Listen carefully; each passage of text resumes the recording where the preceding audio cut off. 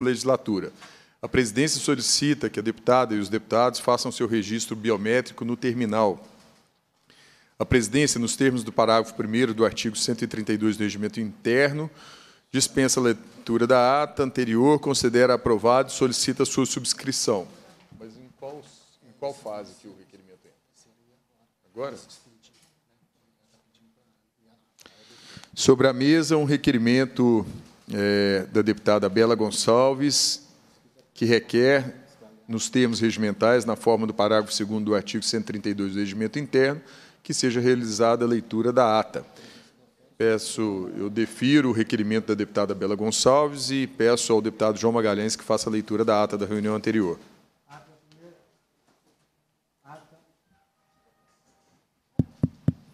Ata da primeira reunião extraordinária da Comissão Especial para emitir parecer sobre o veto número 10 da 23, na segunda sessão legislativa ordinária da 20 legislatura, em 21 de 3 de 2024. Às 14 horas e 15 minutos, comparecer a reunião a deputada Bela Gonçalves os deputados Cássio Soares, Gil Pereira e Roberto Andrade, membros da supracitada comissão.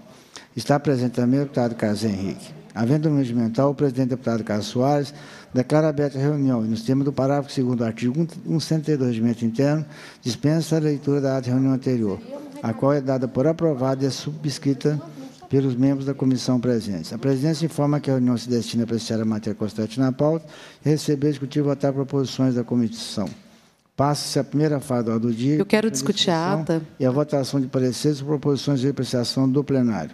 Na fase de discussão do parecer do relator, deputado Carlos Soares, que conclui, que conclui pela manutenção do veto número 10 de 2024 em turno único. O presidente defere o pedido de vista do deputado Abela Gonçalves. Cumprida a finalidade da reunião, a presidência agradece a presença por todos, convoca os membros para, da comissão para a próxima reunião extraordinária a ser realizada no dia 25 de maio de 24 às 15 horas. Determina o autor da ata e encerra os trabalhos. É a ata, senhor presidente. É, por favor, para discutir a ata. João Magalhães. É, deputada, você tem regimentalmente que é, pedir a retificação da ata e, para isso, você tem cinco minutos para ir. Tá certo. Muito obrigada, presidente. Queria desejar um bom dia aos deputados, um bom dia também à assessoria técnica dessa Assembleia Legislativa, um bom dia também à comunidade que nos assiste em especial as trabalhadoras e usuárias da assistência social que lutam cotidianamente contra a situação de miséria nos seus territórios, no seu, no seu, nos seus municípios, no seu espaço de atuação. É, presidente, hoje é um dia importante, porque ontem foi um dia muito importante no Brasil. Depois de seis anos e dez dias de perguntas, de procura, de luta, nós tivemos, né, é, finalmente desvandada pela Polícia Federal, a notícia de que os mandantes do assassinato da minha companheira, amiga Marielle Franco, foram os irmãos Brazão, bem como um delegado que havia assumido na véspera a Delegacia de Homicídios, baixo também a uma intervenção que houve do governo federal sobre o Estado do Rio de Janeiro, é, uma intervenção e militarização das periferias. Muitas pessoas ficaram surpresas e assustadas com a banalidade com a qual assassinam uma mulher, uma vereadora, uma parlamentar, politicamente é, executada por seguir os seus ideais. E aí eu resgatei o discurso de posse, a primeira postagem que a Marielle Franco fez nas suas redes sociais. Ela escreveu: Decidir ser vereadora no dia em que derrubaram a casa da Dona Penha na Vila Autódromo, justo no 8 de março. Decidi que deveria lutar contra esse tipo de violência também na via institucional. É...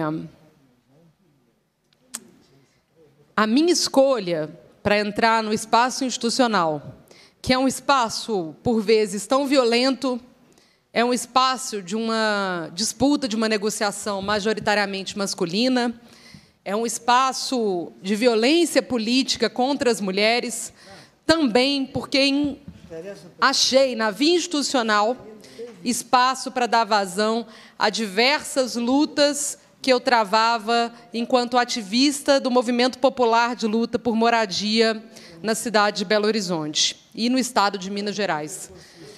Eu, deputado Cássio, que também vi a casa de Donas Marias, Donas Joanas, de diversas mulheres, na sua maioria mulheres negras, ser derrubada sem qualquer alternativa.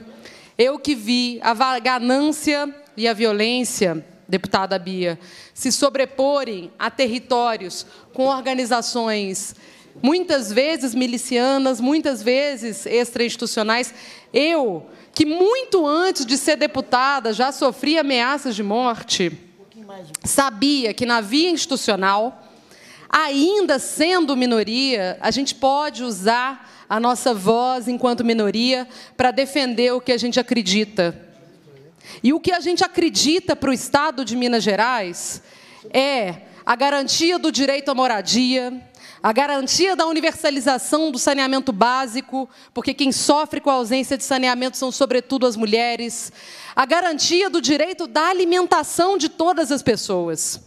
É para isso que eu entrei no parlamento. E esses princípios, para mim, eles são absolutamente inegociáveis. Se alguém se faz na política a partir da corrupção, a partir da violência institucional, a partir da violência territorial, como é o caso dos irmãos Brazão, eles vão encontrar a resistência de mulheres como eu, como a Beatriz também, e como vários deputados dessa casa, que vão lutar até o último momento pela erradicação da miséria no nosso Estado. Vamos lá. A população brasileira, e em especial a população mineira, paga uma quantidade de impostos que deveria permitir a existência de um estado de bem-estar fundamental para todas as pessoas. Hoje, faz 200 anos da primeira Constituição brasileira. As constituições, e em especial a última, estabelecem como direitos sociais, direitos fundamentais, direito à moradia, princípio da dignidade da pessoa humana, o direito à água, o direito à alimentação. E é para isso que nós deveríamos sustentar um pacto federativo que colocasse as pessoas em primeiro lugar. As pessoas nas suas necessidades mais básicas e essenciais em primeiro lugar. Acontece, presidente, que nós temos vivido um cenário em que o Estado de Minas Gerais, que se diz quebrado, diz que não tem orçamento para fazer nada, prefere dar isenções bilionárias, como a que deu para o empresário Salim Matar e os outros donos de locadoras de veículos, coincidentemente também no valor de um bilhão de reais, para depois aumentar os impostos sobre a população, afetando inclusive o cenário de emprego, renda e produção do setor industrial mineiro. Esse aumento de impostos tinha uma justificativa. A justificativa era a criação e a renovação do FEM, o Fundo de Erradicação da Miséria, cujo recurso, presidente, deveria ser destinado para matar a fome das famílias, para garantir políticas de desenvolvimento comunitário. Deputada Bela, Só... nós Sim, já presidente. passamos mais de um minuto, eu vou para concluir mais um minuto para concluir. Tá bom, para concluir. Acontece, presidente, que o Estado de Minas Gerais não tem um plano de erradicação da miséria. Nunca desenvolveu um plano de erradicação da miséria. Em 2021, no Assembleia Fiscaliza, o governo disse que estava desenvolvendo esse plano e que, em, no máximo um ano, ele ficaria pronto. Ele sequer foi feito. O governo também não tem um conselho gestor para poder definir o uso do orçamento do Fundo de Erradicação da Miséria. Nessa ausência de construção de um plano, de uma estratégia para enfrentar a fome, o recurso está sendo decidido pela CEPLAG, e não só pela CEPLAG, pelo COFIN, que tem como principal objetivo hoje acertar as contas, fazer um balanço de contas daquilo que ela tem, que o governo de Minas prometeu de benefício fiscal para empresários como Salim Matar. Por essa razão, nós estamos aqui hoje nesse processo de debate pela derrubada do veto é, que foi lido no, na última ata. Muito obrigado, deputada Bela Gonçalves. É, a presidência, nos termos do parágrafo 1 do artigo 132, é, após a leitura da ata da reunião anterior, considera aprovada e solicita sua subscrição. Essa reunião se destina a apreciar a matéria constante na pauta e a receber, discutir e votar proposições da comissão.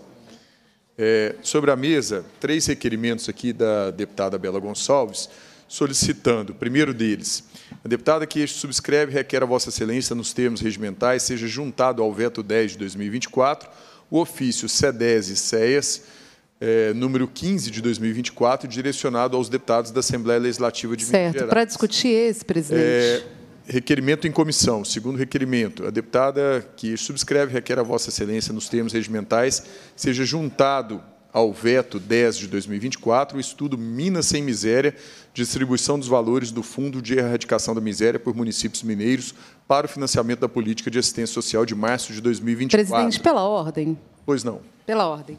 É, eu vejo que o presidente está lendo os requerimentos juntos, mas eu solicito que eles sejam discutidos e votados um a um, é, como determina eles também são, a nossa é, é possibilidade Bela, de discussão desse regimento. Permite, nessa fase, esse tipo de requerimento ele não é colocado em votação, ele é deferido ou indeferido pelo presidente. Motivo esse pelo qual estou lendo gentilmente aqui os, os ofícios, e minha obrigação é óbvio, e assim eu vou, ao final da leitura dos três requerimentos, deferir ou indeferir. Certo, mas eu posso discutir cada um dos requerimentos, como prevê não, não está o regimento. Discussão, não está previsto discussão nessa fase. Está previsto a discussão, sim, dos requerimentos.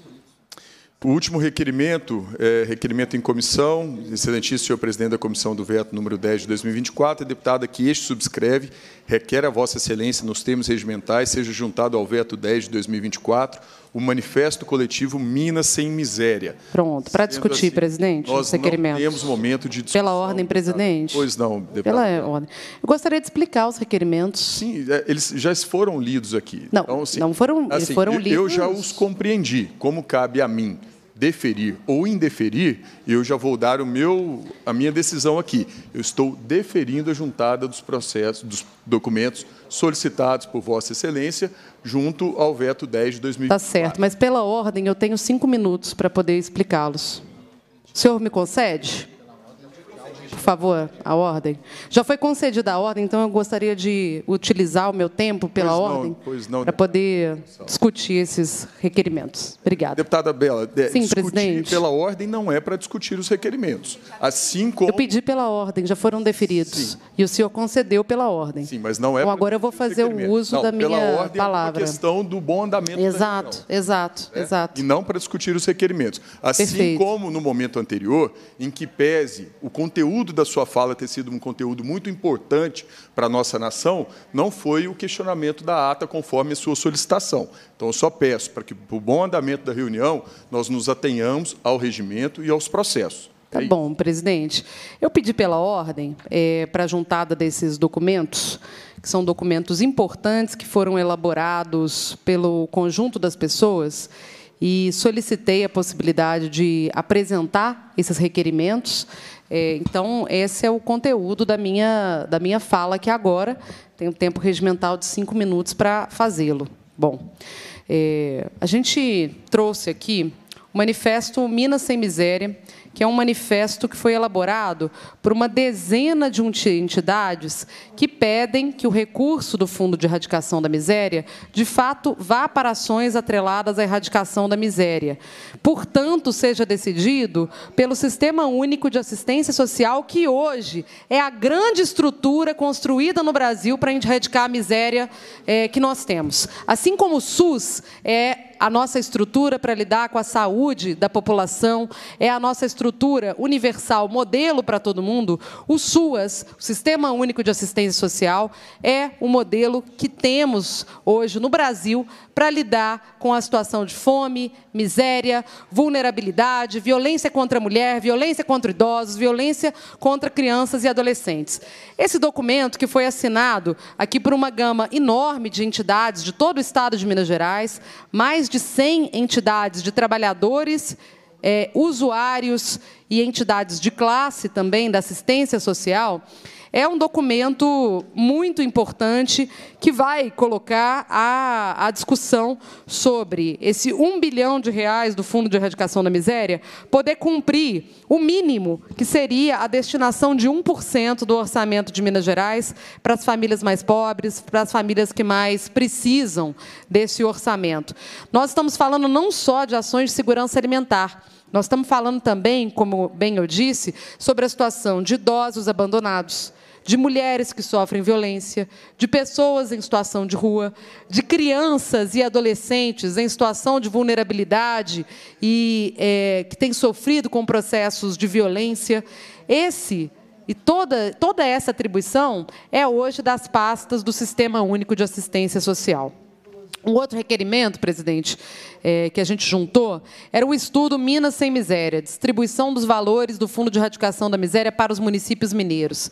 Aqui nesse estudo, nós mostramos como o Estado de Minas Gerais não tem cumprido o piso estadual da assistência social, por uma questão muito simples. Não tem, hoje, atualizada a tabela de número de inscritos no CAD único. Existem cidades, como Divinópolis, em que o número de famílias pobres extremamente pobres é, credenciadas no CAD único dobrou então, a gente tem famílias que recebem menos de R$ 1,20 por mês do Estado de Minas Gerais, repassados aos municípios para poder lidar com essa situação.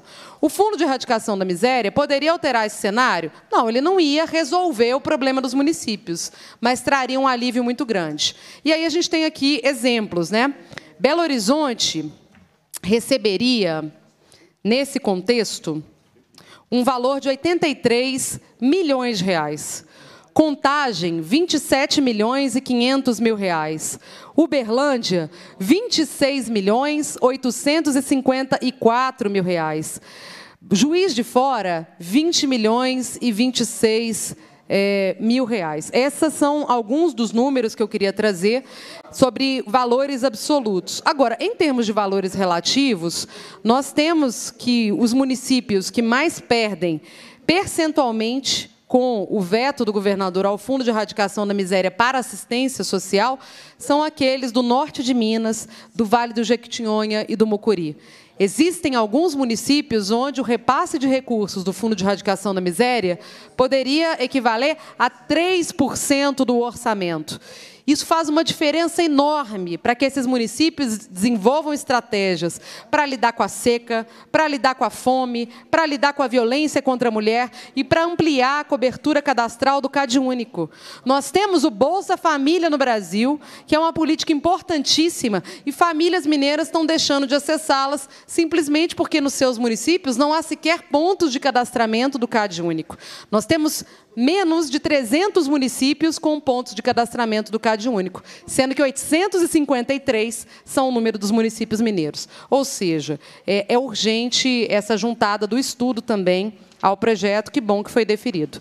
E, por fim, nós temos aqui também uma juntada de um ofício da CEDES e CEAS de uma participação deles na Assembleia Fiscaliza, em que eles confirmam não existir grupo gestor e nem plano de erradicação da miséria, motivo pelo qual o parecer de Vossa Excelência está equivocado.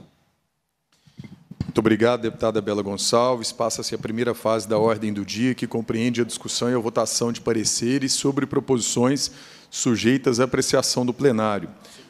Sobre a mesa, dois requerimentos também da deputada Bela Gonçalves.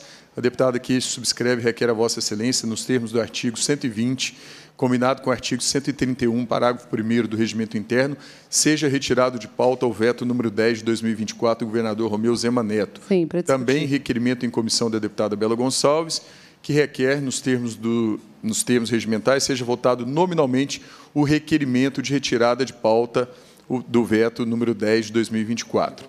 Para discutir, presidente. Em votação, o requerimento... Para encaminhar, presidente. Para encaminhar para encaminhar a deputada Bela Gonçalves. Tá. Eu vou encaminhar primeiro, eh, presidente, o requerimento que pede a retirada de pauta do veto. Né? A votação. Não, eu sei, são dois requerimentos, eu vou discutir os dois.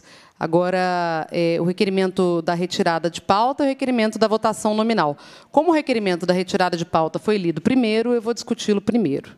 Então, vou iniciar agora a discussão do, do requerimento da retirada de pauta. Presidente. Encaminhamento. A votação nominal primeiro? Então, qual é? Aqui a votação nominal primeiro. Então, peço que. É, é, essa foi minha dúvida. Sim. Sempre é. Então, vamos caminhar aqui. Peço que, por favor, considere que até os entendimentos ficou atrasado um pouco o meu tempo. Eu peço, mas vou, iniciar. vou considerar esse tempo. Tá certo, muito obrigada. Então, é... nós defendemos, presidente, que esse, que esse veto seja retirado de pauta e que o governo se sente para conversar conosco. João Magalhães, líder de governo, o senhor fez um acordo com o presidente Tadeu, com o líder do nosso bloco, Ulisses Gomes, com um conjunto de líderes dessa casa, que resultou na votação por unanimidade, naquele plenário, do atrelamento do recurso da erradicação da miséria para o Fundo Estadual de Assistência Social, reconhecendo que o governo de Minas Gerais, ao mandar o projeto de lei plurianual para casa, e o projeto de lei anual também, havia simplesmente sumido, esquecido ignorado 1 bilhão de reais para 2024 e mais de 4 bilhões de reais, se considerar os próximos anos, de um recurso que está destinado pela legislação que fundamenta a existência do fundo à erradicação da miséria. Então, presidente, é um acordo que foi feito de forma ampla com o presidente, com os líderes da casa, com o líder do nosso bloco, não pode ser simplesmente votado. A gente pede a retirada de pauta do veto, porque antes da discussão sobre o veto, nós precisamos nos sentar à mesa novamente. E o governo ainda não chamou a gente para se sentar à mesa. Não, não, não se dirigiu a gente para explicar exatamente o que aconteceu para um descumprimento de acordo com a casa isso é um desrespeito com a Assembleia Legislativa, é um desrespeito com o conjunto dos deputados que votaram por unanimidade pelo atrelamento do Fundo de Erradicação da Miséria ao Fundo de Assistência Social. Isso é um desrespeito com as milhares de famílias mineiras que precisam desse dinheiro. O primeiro desrespeito foi ter mandado a lei plurianual e a lei anual, a LOA, para casa sem esses valores. Eu não consigo nem é, é, descrever o espanto que eu tive no final do ano passado, quando a gente pegou a lei orçamentária e percebeu que, ó, um bilhão de reais, quatro bilhões de reais desapareceram do orçamento. Pior ainda, saber que no mesmo momento, no mesmo processo, estava sendo debatido o regime de recuperação fiscal aqui na casa, mas lá o recurso do Fundo da Erradicação da Miséria foi considerado.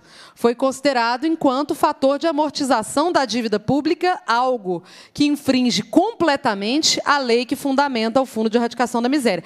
É uma improbidade administrativa sem tamanho. E a Casa Legislativa não tinha como aprovar nem a lei anual, nem a lei plurianual com esses equívocos. Acontece, presidente, que aprovou. Aprovou corrigindo. E se agora o governo pretende rediscutir, reavaliar, fazer um novo debate, porque não, esse orçamento pode ser importante para outras ações que não só as socioassistenciais, vamos sentar na mesa, apresente qual é o plano do governo. É, deputado João Magalhães, porque da forma como está, está ficando feio e escancarado que o objetivo do governo é desviar recurso das famílias pobres. Já teve governador que caiu por desvio de merenda escolar. Eu não vejo diferença. Aqui estão desviando valores da alimentação das famílias mais pobres. Portanto, presidente, eu penso que esse veto precisa ser retirado de pauta, dessa pauta aqui hoje, para que a gente possa fazer uma reunião com o governo. Fazemos hoje, fazendo amanhã, não tem pressa, mas a gente precisa reunir, e essa é uma consideração muito importante.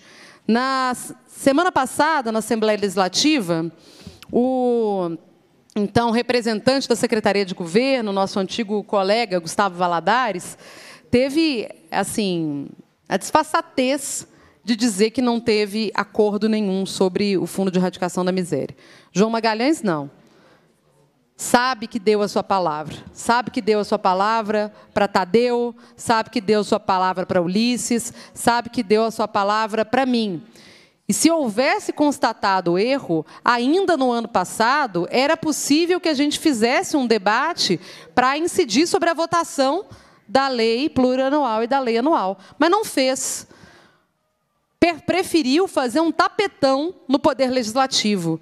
Que confiança eu vou ter na palavra da liderança de governo, João Magalhães, nessa casa, sendo que acordos assim firmados com o presidente da Assembleia Legislativa foram descumpridos, como foram no ano passado. Isso é uma vergonha, gente. Isso é uma coisa que não tem cabimento. Se a gente for caminhar para isso, nós vamos ver essa casa deixando de ser uma casa da democracia, deixando de ser uma casa de produção de consensos, para ser uma casa da desconfiança para ser uma casa da traição, para ser uma casa do tapetão. Se fosse traição só comigo, não tem problema não. Mas a traição, nesse caso, é com as milhares de famílias mineiras que seriam beneficiadas com o Fundo de Erradicação da Miséria. Então, por isso eu peço que seja retirado de pauta o veto número 10 de 2024 do governador Romeu Zema. Pela ordem, presidente. Pela ordem, deputada Beatriz Cerqueira. Presidente, boa tarde. Boa tarde, deputado João Magalhães, deputado Tiago Cota, boa tarde muito especial à deputada Bela Gonçalves. Boa tarde a todos que acompanham os trabalhos aqui da Assembleia nessa segunda-feira. Pedi pela ordem, presidente, só para explicar às pessoas que estão acompanhando os trabalhos, porque nesse momento só a deputada Bela falou é porque a comissão é constituída por cinco colegas, e nesta comissão é, nós temos uma representação do Bloco Democracia e Luta, que também a deputada Bela Gonçalves está nos representando. Então, nesse momento da discussão da ata, do encaminhamento deste dos próximos requerimentos, só quem é membro titular da comissão pode falar.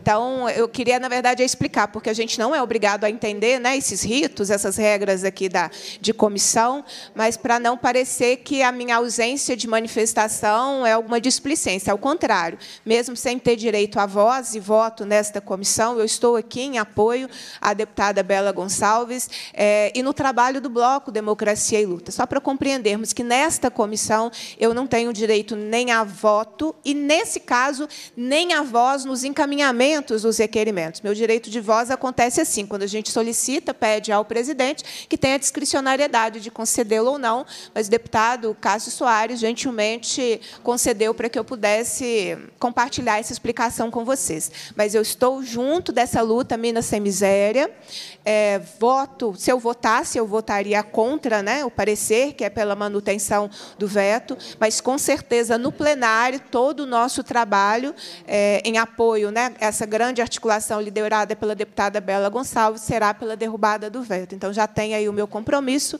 mas a minha ausência de encaminhamentos em determinados momentos é isso, porque o regimento interno da Assembleia determina que somente os membros que estão como efetivos nesse momento podem fazer encaminhamentos de requerimentos, é, todos eles já apresentados pela deputada Bela Gonçalves. Quero aproveitar e desejar que nós tenhamos aí uma uma semana, eu, eu, posso fazer esse desejo, presidente? Por gentileza. É, eu quero desejar que nós tenhamos uma semana, que a gente cuide da nossa memória coletiva, para que assassinatos como o que a Marielle Franco foi vítima há seis anos, para que nós cuidemos da democracia sempre, para que outras mulheres não sejam assassinadas e nós não tenhamos, é, na estrutura do Estado, não só aqueles que obstruíram a justiça, mas aqueles que programaram, que planejaram o assassinato da Marielle Franco. Então, é uma semana para nós, mulheres, que começa com um aperto no peito, não é? Não acabou? É, no caso, é na, é na Espanha que o estupro está valendo 5 milhões. Você estupra uma mulher numa, numa casa de show por 5 milhões, depois de condenado por 5 milhões, você, você sai de cabeça. Você sai como se tivesse desfilando, né? A arrogância daquela saída da prisão de hoje à tarde do ex-jogador é, é absurda. Então, a gente precisa ter essas memórias para que a gente, é, para que a gente construa uma sociedade em que nós, mulheres, não, não estejamos em insegurança, né? em todos os lugares, no parlamento, na rua, é, numa, casa de, numa casa de show, é, no momento de lazer. Então, é uma semana que começa com muitos desafios para toda a sociedade. Porque isso que eu falei não é um problema das mulheres, é um problema de toda a sociedade. Não é? E eu dizia hoje de manhã, a deputada Bela Gonçalves, é, na abertura das atividades da Comissão de Educação, que tudo isso tem revelado como o chefe da Polícia Civil do Rio de Janeiro, como um grande articulador do assassinato da vereadora Marielle Franco, demonstra que os nossos medos não são infundados de todas as vezes que nós é, denunciamos não é? todas as violências que as mulheres sofrem por estar na política. Então, acho que é uma semana que começa com muitos desafios e eu queria fazer esses registros. Obrigada, presidente. Eu que agradeço, deputada Beatriz Cerqueira, e esteja certa de que essa luta realmente não é só das mulheres, é de todos nós, né, homens especialmente, que têm uma responsabilidade muito grande com a história de diferenças, a história de não respeito aos direitos das mulheres, onde elas estiverem na nossa sociedade, e agora, especialmente com esses episódios tão lamentáveis que nós estamos vivenciando na nossa, nossa nação brasileira, nós temos por obrigação repudiá-los, combatê-los e educar as nossas crianças para que, desde já, possam crescer com essa consciência de respeito às mulheres, de igualdade, de valorização e da sua participação de direito na nossa comunidade. É, seguindo em votação o requerimento da deputada Bela Gonçalves, que requer, nos termos regimentais, seja votado nominalmente o requerimento de retirada de pauta o veto número 10 de 2024, governador Romeu Zema. É, em votação. Os deputados que o aprovam permaneçam como se encontram. Gente, eu estou aprovando o seu requerimento. Ah, é? Não, desculpa. Está aprovado. É, desculpa. Está aprovado o requerimento. Ai, ai. Registro ou não? Não, não, não. Retifico o meu voto, presidente. Não, está aprovado o requerimento por unanimidade. Certo. Vamos discutir agora. Você já leu? Posso discutir o segundo requerimento? Em né? votação, o requerimento pra da deputada Bela para encaminhar por cinco minutos, deputada Bela Gonçalves. Certo. Dez minutos, perdão. É, deputada, deputada Bela, eu, eu peço licença um minuto só para suspender essa reunião por apenas 30 segundos, apenas para a gente fazer a abertura da próxima reunião. Nós vamos ser os tá bom. Veto dessa reunião.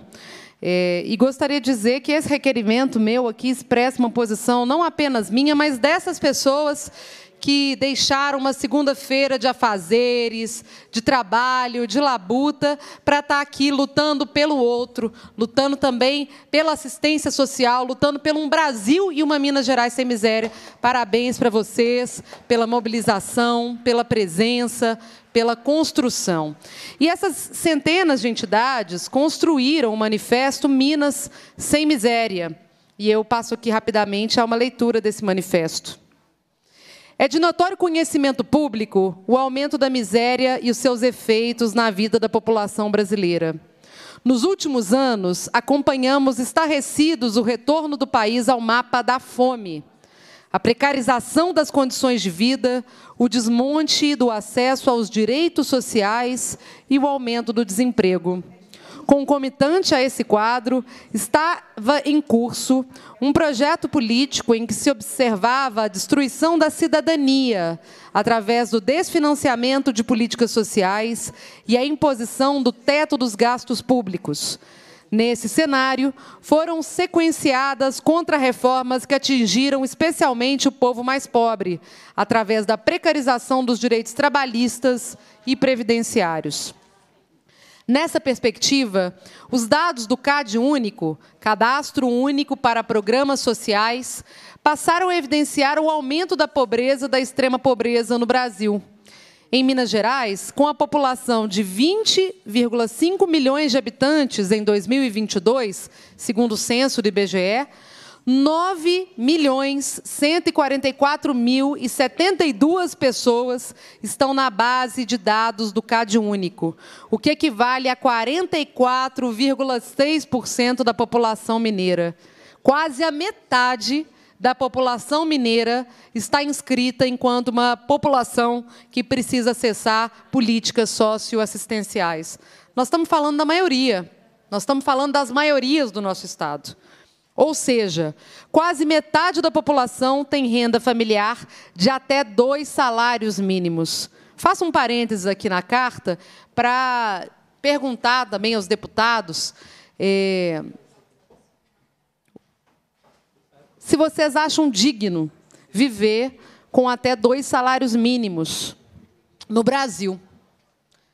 Dois salários mínimos numa capital como Belo Horizonte não permite uma família pagar o aluguel e alimentar os filhos, não permite as pessoas pegarem o transporte coletivo urbano, não permite as pessoas acessarem o lazer. Elas precisam rezar para Deus para jamais adoecerem, porque o SUS garante muitas coisas, mas elas ainda vão ter que ampliar os deslocamentos para chegar em tratamentos de saúde.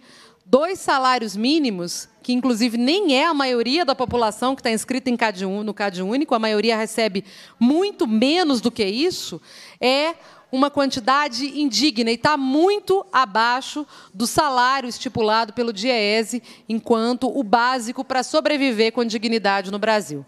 Retomo aqui agora, então, a leitura da carta. Esse contexto se mostra ainda mais grave se consideramos o estudo do DIEESE, Departamento Intersindical de Estatística e Estudos Socioeconômicos, apontando que a renda mínima de uma família para o seu sustento deveria ser de pelo menos cinco salários mínimos. Ademais, das famílias inscritas no CAD único, 1.646.555 42% estão em situação de pobreza, com renda mensal por pessoa da família até 218 reais. 218 reais por mês por pessoa de cada família. Essa é a situação de 42% dos mineiros.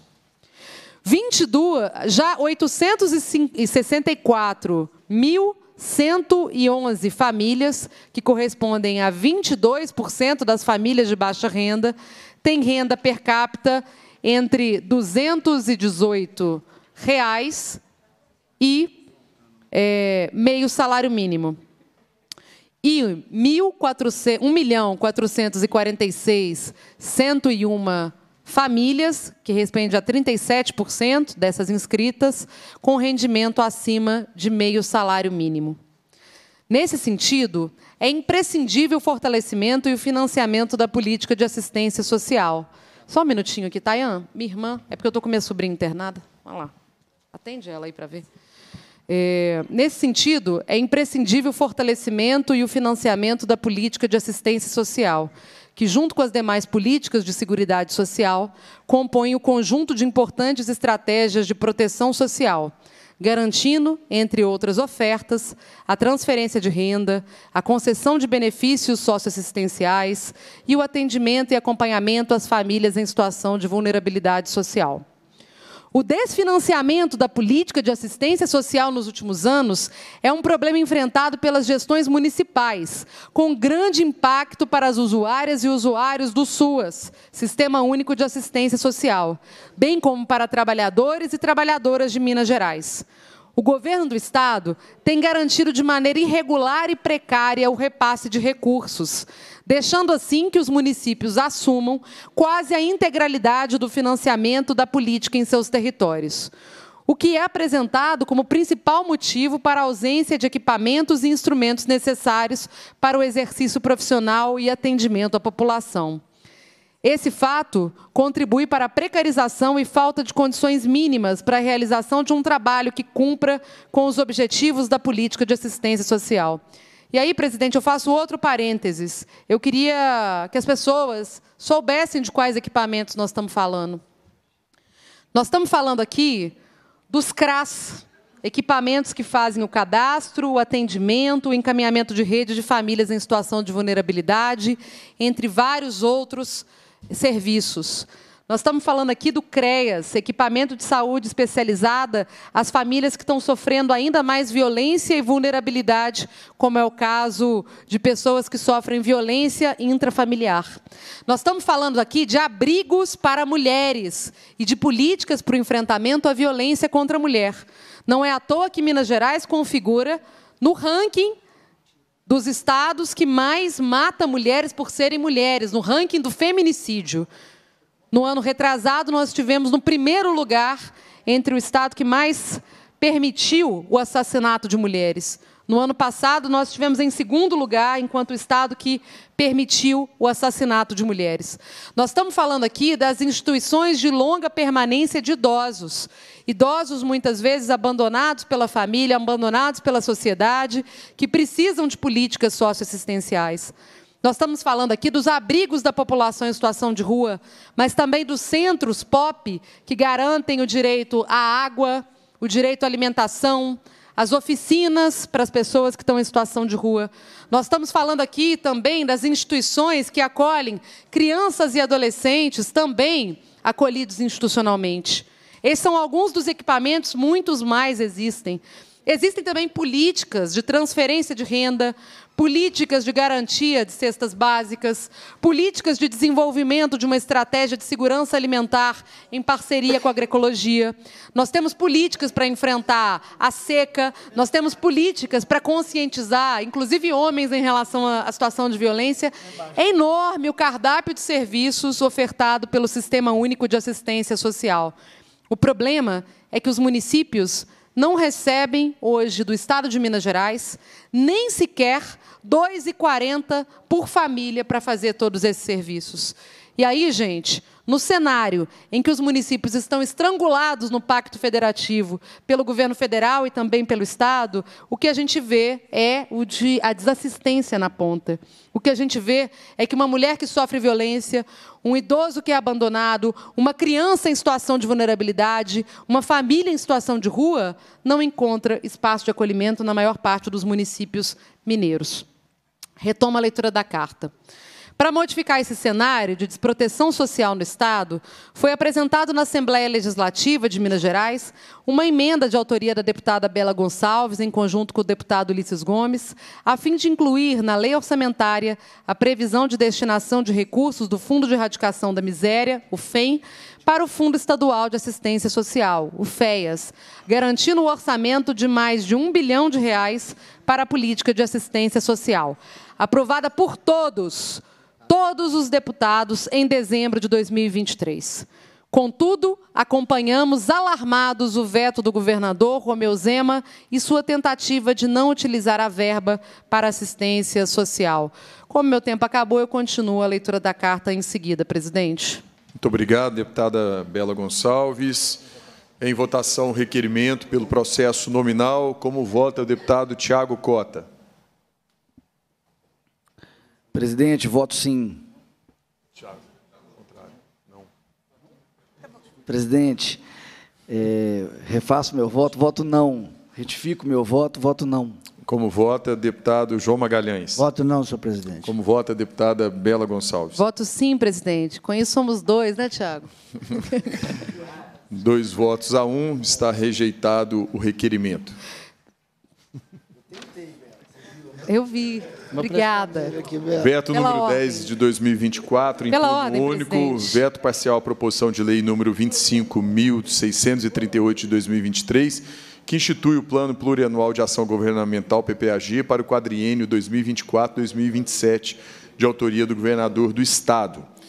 Em reunião anterior, foi concedida vista à deputada Bela Gonçalves do parecer que opina pela manutenção do veto número 10 de 2024. É... Pela ordem, presidente. Pois não, pela ordem. Só antes da gente continuar, nós temos aqui algumas dezenas de pessoas aguardando do lado de fora da galeria, proibidas de entrar em razão da lotação. Segundo o artigo 17, as reuniões são públicas e, para garantir a publicidade e acesso, eu requeiro, então, que a gente mude de plenário para garantir a boa acomodação das pessoas que vieram assistir no, no a essa Peço, comissão. é, eu- vou pedir assessoria para que transmita a nossa reunião aqui no na TV do Cafezinho e vão estar todos muito bem acomodados e prontos para acompanhar. É Num justo. plen- Num plenário é mais confortável, presidente, eu acho que a gente pode garantir a possibilidade das pessoas Peço- assistirem à reunião. Eu peço que O todos- auditório aqui ao lado está vazio. Todos estarão bem acomodados Né? ali. Caso ainda assim persista e não caibam as pessoas ali no cafezinho, a gente toma outra providência desde que estejam todos muito bem acomodados. Mas o espaço do auditório é tão mais confortável, presidente? Sem dúvida, mas nós estamos aqui já instalados em sessão e eu peço que a assessoria providencie ali a transmissão na TV do cafezinho, desde que estejam todos os estejam Tá, bem acomodados. Eu gostaria, É, rapidinho. Sobre é, a mesa, Presidente, você pode requerimento- suspender dois, 30 segundos a reunião? Sim, está suspenso os trabalhos por um minuto. Número 10 de 2024. E o outro, que seja votado nominalmente o requerimento de adiamento da discussão do veto número 10 de 2024, governador Romeu Zema. Certo. Presidente, vou encaminhar os Deixo- dois requerimentos? Não cabe encaminhamento. Eu deixo de receber os requerimentos nos termos do artigo 247 do regimento interno, que impossibilita o adiamento de discussão de Presidente, veto. pela ordem. Pela ordem, deputada Bela Gonçalves. Certo. O artigo 247 se encaixa no título 6 da Ordem dos Trabalhos e não no título 5, que trata das comissões. Assim, a vedação de adiar a discussão em veto só se aplica ao plenário, não se aplicando aqui. Eu queria fazer a discussão sobre o adiamento dessa discussão, e aí eu Não está em discussão. minutos. É pela ordem, Sim, deputada Bela é, Gonçalves. pela, pela minha ordem. Pela ordem, como já foi dada a palavra de ordem, presidente. A minha discussão sobre o adiamento era para que a gente pudesse, pelo menos, fazer uma reunião. Uma reunião com o governo de Minas Gerais para entender o que, ele está pensando em fazer. Entende? Porque levar uma votação dessa a plenário sem a gente entender a forma como o governo eh, deseja operar a distribuição do furo de erradicação da miséria é um desrespeito ao Poder Legislativo, um desrespeito às pessoas.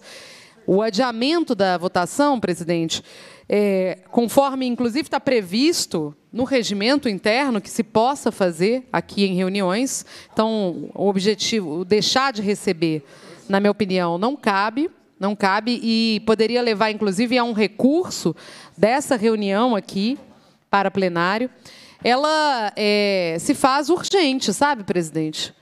A gente adia a discussão aqui, faz uma reunião hoje ainda com o governo de Minas Gerais e amanhã volta aqui para poder decidir sobre esse tema tão importante. Não há motivos para se acelerar uma discussão como essa sem qualquer tipo de diálogo, sem qualquer tipo de negociação. Ainda mais atropelando o regimento interno, porque não estamos em plenário. Portanto, deixar de receber requerimentos tão importantes como esse não me parece razoável, presidente. Nós precisamos garantir que a gente possa discutir e votar o adiamento dessa discussão e dessa votação para que se realize uma reunião entre o governo de Minas Gerais e as pessoas, inclusive. As pessoas que querem saber para onde vai um bilhão de reais em 2024 e mais de 4 bilhões de reais nos próximos anos. Onde que o governador de Minas Gerais quer colocar esse recurso que, pela lei, só pode ser empregado para a erradicação da miséria no nosso estado? Aonde que o governador está querendo investir um bilhão de reais, sendo que nós temos 46% da população mineira em situação de pobreza, extrema pobreza, em situação de vulnerabilidade, motivo pela qual estão cadastrados no Cade Único. Lembro que, como a maioria, grande parte dos municípios mineiros não tem sequer pontos de cadastramento no Cade Único, a situação pode ser ainda pior. Nós estamos falando da maioria da população que está perdendo um orçamento de um bilhão de reais e os deputados dessa casa não podem adiar a reunião nem por um dia sequer para fazer um debate, para entender o que, que o governo está pensando, o que, que o Zema está querendo. Olha, porque, vamos lá, Vamos lá, todos os deputados sabem o quanto foi caro a eles o aumento do ICMS votado. Muitos desagradaram empresas mineiras de produção de refrigerantes, vinhos, esmaltes, cosméticos, produtos de limpeza, produtos de higiene. Nós desestimulamos a indústria em Minas Gerais, produzimos, inclusive, é, efeitos adversos de desemprego, com a justificativa de que esses 2 bilhões adicionais de CMS iriam para a erradicação da miséria. Agora o governo não se presta a vir aqui dar um esclarecimento, uma explicação, uma conversa com a população sobre para onde vai destinar esse orçamento, presidente, e nós não podemos adiar essa votação em um dia sequer. Não podemos fazer uma reunião aqui, buscar um entendimento, seria no mínimo respeitoso com a casa é, que nós tivemos, tivéssemos esse adiamento, inclusive para poder entender o que, que acontece com a palavra dos líderes de, do governo. Porque, assim, João Magalhães, o senhor vai me desculpar, mas eu não tenho condição de acreditar mais em qualquer palavra que o senhor faça em nome do governo, se o governo não te legitima para poder fazer essa palavra. Sabe? Eu não tenho qualquer confiança nas negociações que a gente faz com o governo de Minas Gerais, sendo que o governo de Minas Gerais trapaceia, puxa o tapete, esconde orçamento, desvia dinheiro da miséria. Desvia dinheiro da miséria e nós não podemos adiar a votação em um dia. Nós não podemos fazer um debate sério. Eu trouxe aqui dados alarmantes sobre a pobreza e a extrema pobreza no nosso estado. Metade da população de Minas Gerais vive em algum estado de insegurança alimentar. Não tem três refeições diárias em quantidade e qualidade suficiente. E nós, Poder Legislativo, não podemos adiar em um dia essa votação para poder fazer esse debate? Penso que o nosso papel aqui é garantir a palavra do governo com a Assembleia Legislativa, porque a palavra do governo com a Assembleia Legislativa importa para a população mineira. Não é sobre só um desrespeito a mim, um desrespeito a Bia, um desrespeito a Ulisses, um desrespeito inclusive a Tadeu, presidente dessa casa. É um desrespeito à população que nós representamos no exercício do nosso mandato. Por essa razão, presidente, eu peço que reconsidere para que a gente possa votar o adiamento dessa discussão. Deputada, o artigo do regimento é uma questão de interpretação, eu mantenho a interpretação e deixo de receber os requerimentos.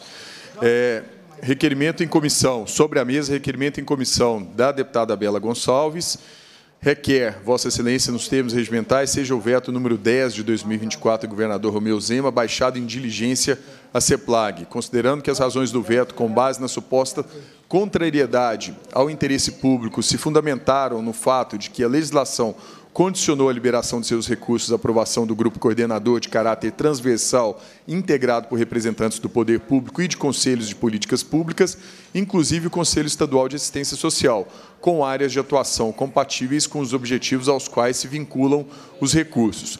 Considerando, contudo, que o próprio subsecretário de Planejamento, Orçamento e Qualidade do Gasto, em audiência pública realizada pela Comissão de Direitos Humanos da Assembleia em 25 de setembro de 2023, afirmou desconhecer discussões sobre criação do grupo gestor do Fundo dentro do governo e na audiência pública realizada pela Comissão de Assuntos Municipais e Regionalização da Assembleia Legislativa em 12 de março de 2024, o mesmo subsecretário reiterou expressamente que o grupo, de fato, não está ativo. Considerando, contudo, que o mesmo subsecretário também afirmou na audiência de 12 de março de 2024 que a deliberação final não só dos recursos do FEM, mas de todos os outros recursos orçamentários do Estado passam pelo COFIN, e é o COFIN que faz o direcionamento final, ou seja, que outro órgão que não o grupo gestor tem deliberado sobre os recursos.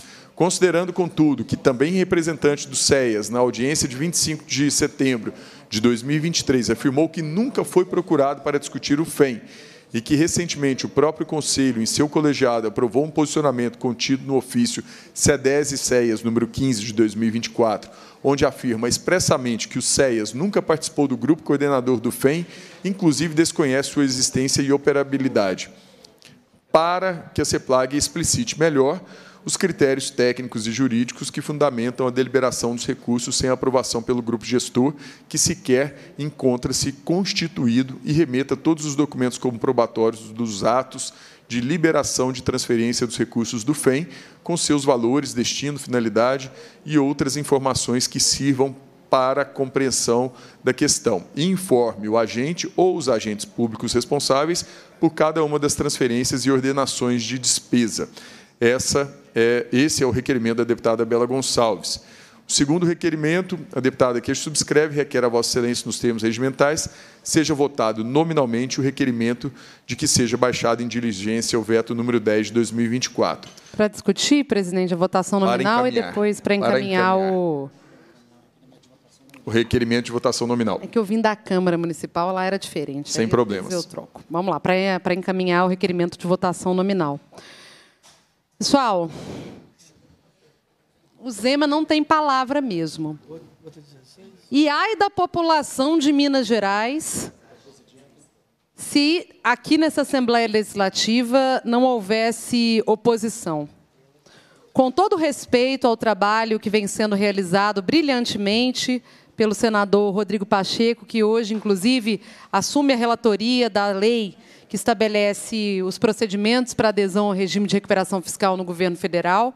Essa discussão só foi aberta porque nós fizemos um enfrentamento nessa casa e, em especial, pelo trabalho assim incansável Incansável, sim, mentira, cansou, né, Bia? A gente cansa. Mas o trabalho com afinco e cansaço é, das parlamentares nessa casa, e coloco aqui em destaque também o trabalho da deputada Beatriz Cerqueira. Queria colocar rapidamente um áudio aqui para tocar. Não existe outra alternativa exceto o regime de recuperação fiscal. Vamos lá. Não existe outra alternativa exceto o regime de recuperação fiscal. Esses que ficam falando o regime é ruim, o regime é isso ou aquilo, primeiro estão distorcendo, porque o regime não impõe nenhuma limitação. Bom, todo mundo entendeu. Alguns meses atrás, o Zema dizia que a adesão ao regime de recuperação fiscal que ele propunha era a única saída para o Estado de Minas Gerais privatizar as estatais, congelar o serviço público, arruinar os investimentos nas diversas áreas era a única solução, a história única do governador Zema. Pois bem, agora o Zema disse que o regime de recuperação fiscal foi um remendinho, que ele não resolve a dívida, e está lá disposto a, a conversar com o presidente Lula, com o senador Pacheco, o que seria uma solução melhor. Isso só aconteceu porque a Assembleia Legislativa teve altivez, porque a Assembleia Legislativa teve protagonismo. Porque deputados, como o deputado Sargento Rodrigues, está aqui, tá aqui embaixo, se insurgiram, inclusive, é, contra, muitas vezes, a posição do próprio bloco que compõe, em defesa do direito de servidores públicos e do Estado de Minas Gerais. Pois bem, gente, o Zema não tem palavra e não sustenta o seu discurso nem por dois segundos, que dirá por muitos meses. Vamos lá. No final do ano passado, o governador Zema deu a sua palavra para a Assembleia Legislativa por meio das suas lideranças de governo, por meio do, seu, do deputado João Magalhães, de que o Fundo de Erradicação da Miséria poderia ser atrelado ao Fundo Estadual de Assistência Social. Essa votação, comemorada pela Assembleia, representou um marco importante na luta pela assistência social. Finalmente, teríamos o mínimo. O mínimo, gente, porque 1% do orçamento do Estado para lidar com a situação de miséria e pobreza de 46% da população é o mínimo, mas teríamos finalmente o mínimo. O mesmo governador deu a sua palavra para os deputados que poderia aprovar o projeto dos pedágios não gerando a distorção absurda de munícipes de locais que têm pedágio terem que pagar duas, três vezes para ir no posto de saúde, para pagar uma conta no banco, para ir e voltar tra do trabalho, para acessar o lazer. Isso foi aprovado por unanimidade aqui na Assembleia Legislativa com a palavra da liderança de governo. Mais uma vez, o governador não sustenta a palavra e ela cai. É hora, deputados, da gente ter altivez de não permitir que acordos sejam quebrados aqui na casa. Porque se os acordos forem quebrados, a gente perde, inclusive, a força da Assembleia Legislativa de produção de consensos e construção de soluções reais para o nosso Estado. O regime de recuperação fiscal é um exemplo disso. A proposta do Zema era uma porcaria. A gente sairia de uma dívida de 160 bilhões de reais com a União para mais de 210 anos depois de privatizações, congelamento de investimentos e estrangulamento de serviço público dos servidores públicos. Horas. Agora, nós temos a mesma discussão em tela. O recurso para a erradicação da miséria vai para erradicar a miséria ou ele será desviado para acertar o balanço de contas da isenção que o Zema deu ao Salim Matar aos empresários eh, de locadoras de veículos. Recurso de impostos que ele tirou, deputado Cássio, da base de vocês, deputados que têm na sua base de apoio indústrias de produção de bebidas, refrigerantes, indústria de produção de cosméticos e vários outros itens que amargaram com um adicional de 2% do ICMS. Lá nós denunciamos que esse adicional não estava na prioridade do governo ser erradicada pela miséria. Mas eu fui uma das que fiz a defesa. Eu falei, olha, mas nós não podemos ser contra o FEM. O FEM é importante para as famílias, o FEM precisa ser disputado. E essa disputa é, originou o atrelamento desse recurso para assistência social. E é os municípios que têm que executar. Porque quem está na ponta lidando com uma família com fome, quem está na ponta lidando com uma população em situação de rua, quem está na ponta lidando com uma mulher em situação de violência, quem está na ponta lidando com um idoso abandonado pela sua família, são os municípios.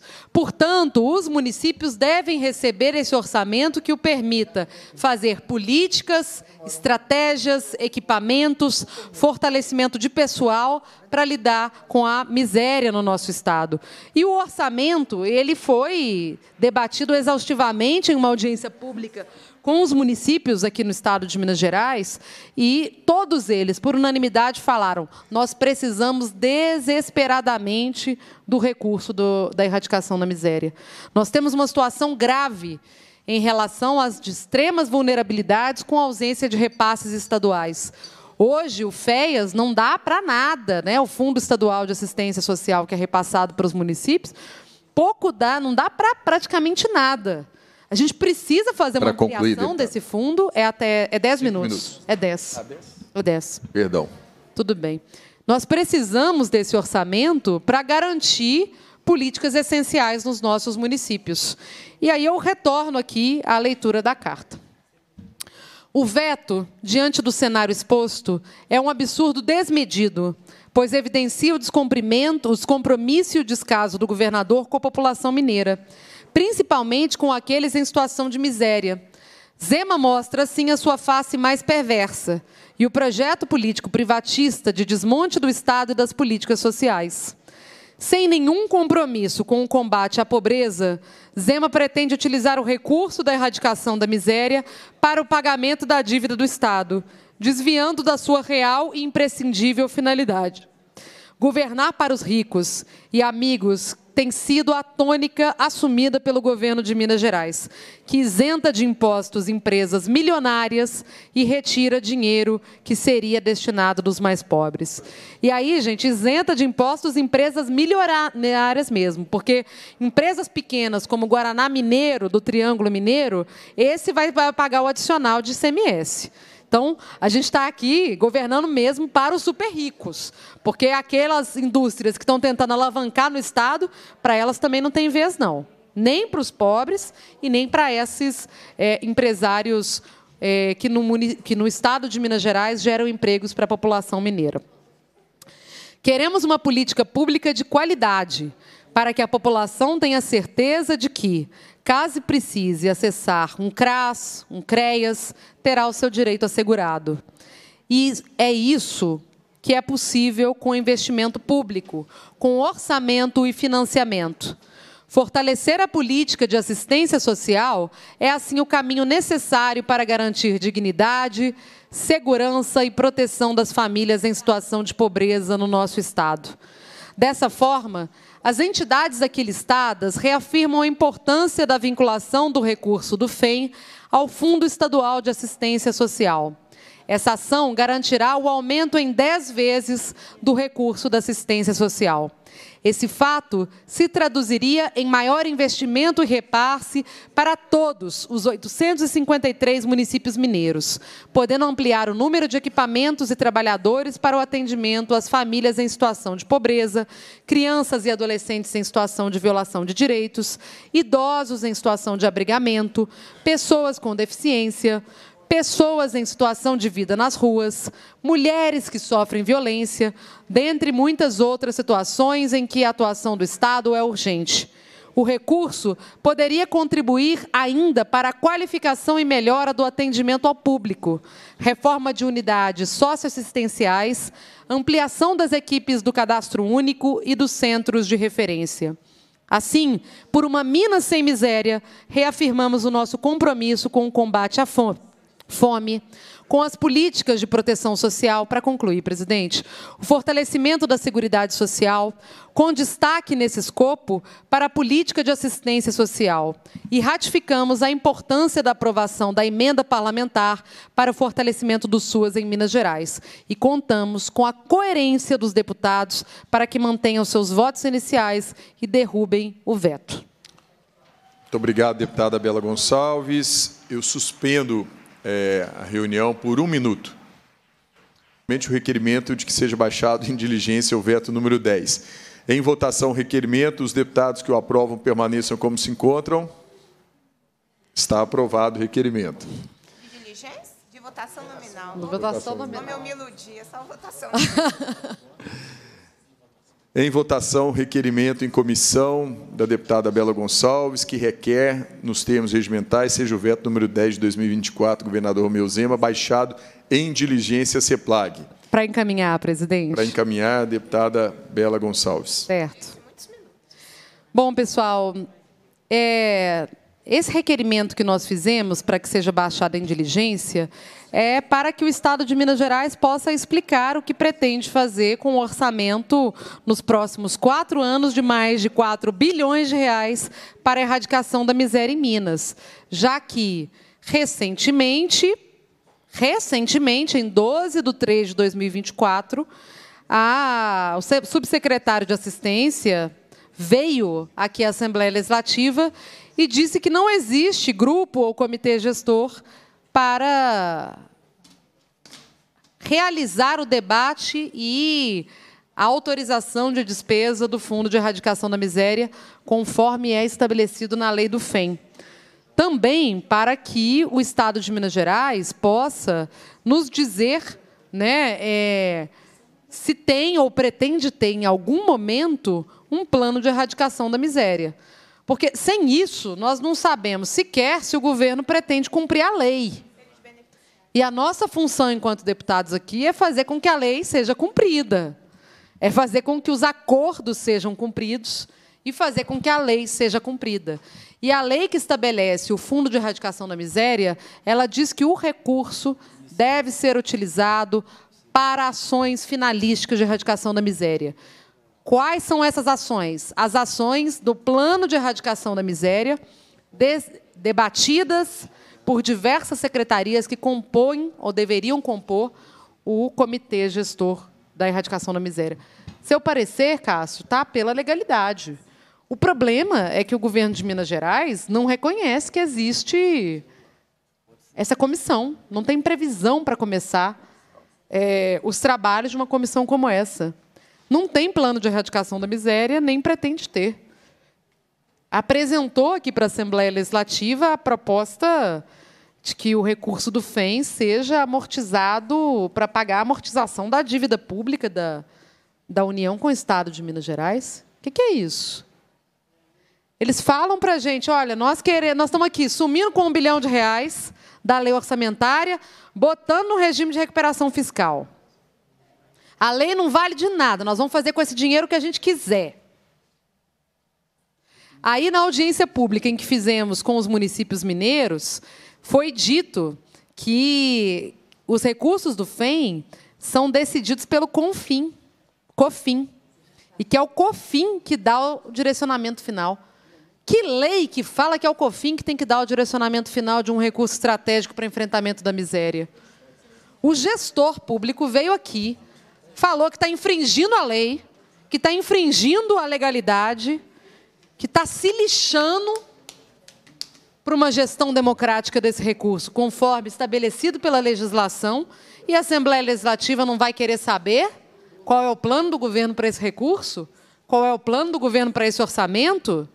Ora, gente, a SEDESE afirmou expressamente que o Conselho Estadual de Assistência Social nunca, nunca participou de um grupo coordenador do FEM.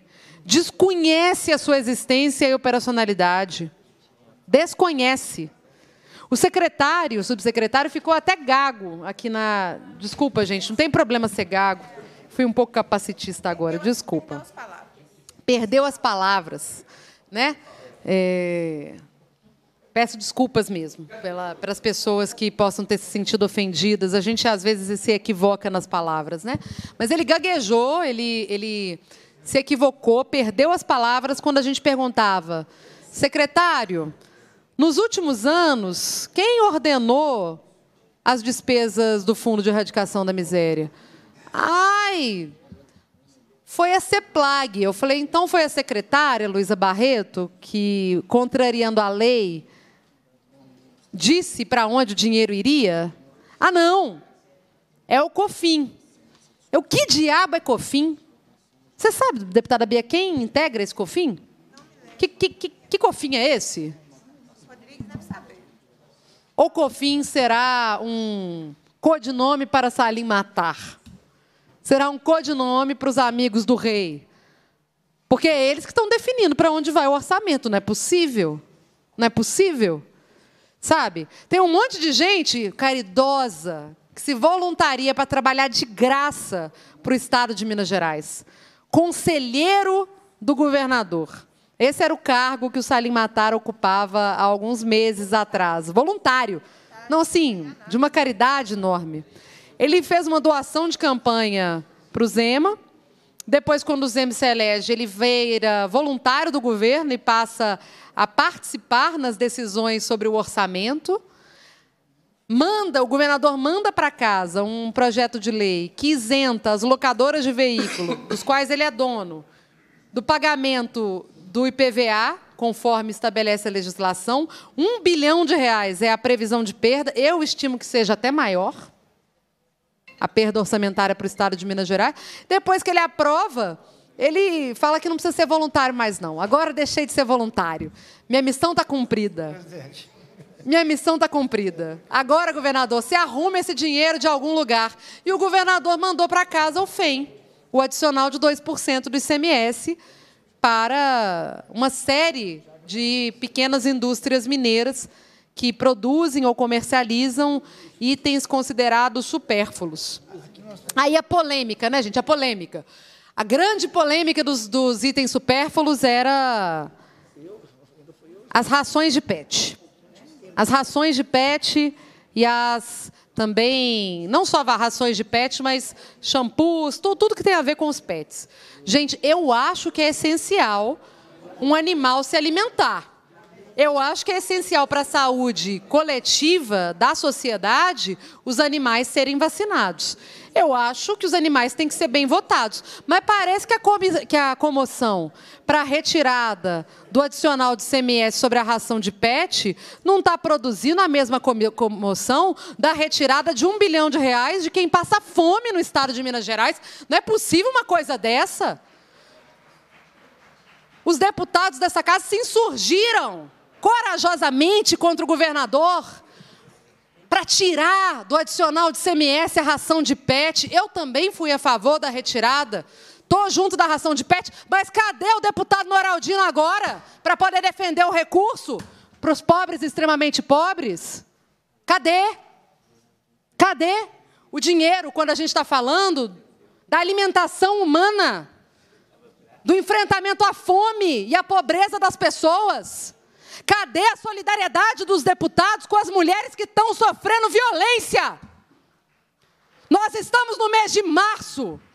Minas Gerais tem números vergonhosos de violência contra a mulher.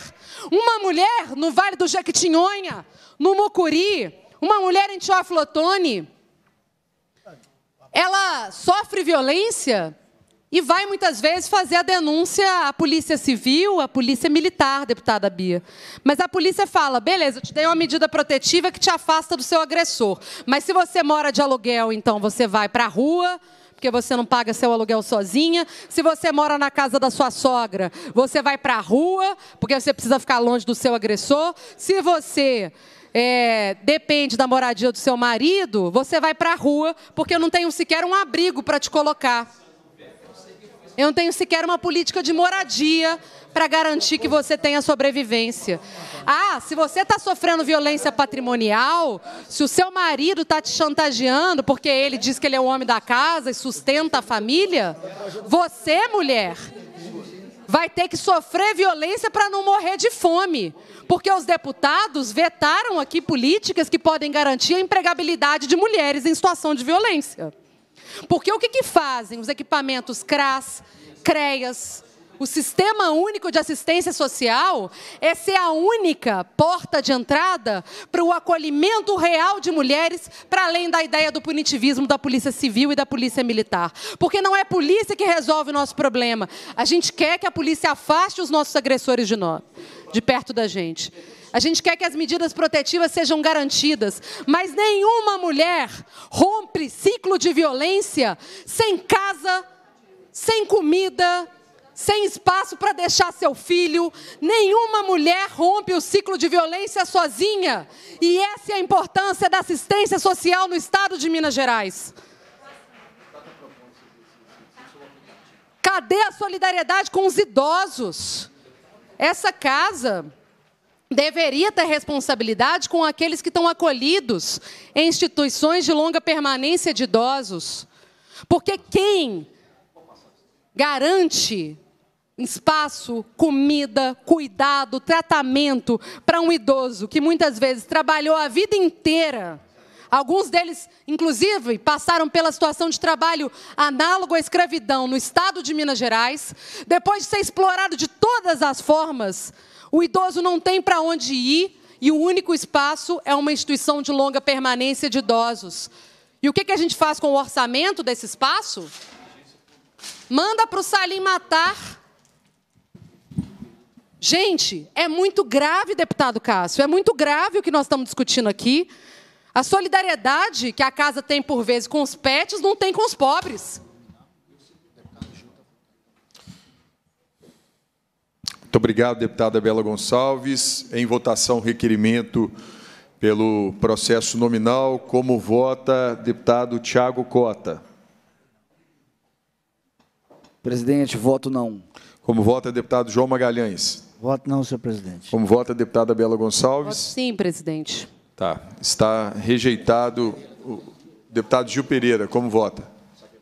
Não. Está rejeitado o requerimento. Eu votei sim. É, deputado Cássio. Também voto não. Está rejeitado o requerimento. Continue em discussão. Parecer. Pronto, concluiu? Pode primeiro. Para discutir, presidente. Para discutir, deputada Beatriz Cerqueira. Presidente, é, nós estamos aqui em vários colegas, deputados e deputadas, e todos nós sabemos, então, o que, que, o que, que está acontecendo. Né? Nós, é, do Bloco Democracia e Luta, somos minoria nesta comissão, são quatro membros da base do governo, e um membro do Bloco Democracia e Luta, aqui tão bem representado pela deputada Bela Gonçalves. O parecer que já foi é, divulgado em reunião anterior é pela manutenção do veto. E aí, cada. Desculpa. Cada requerimento, cada intervenção,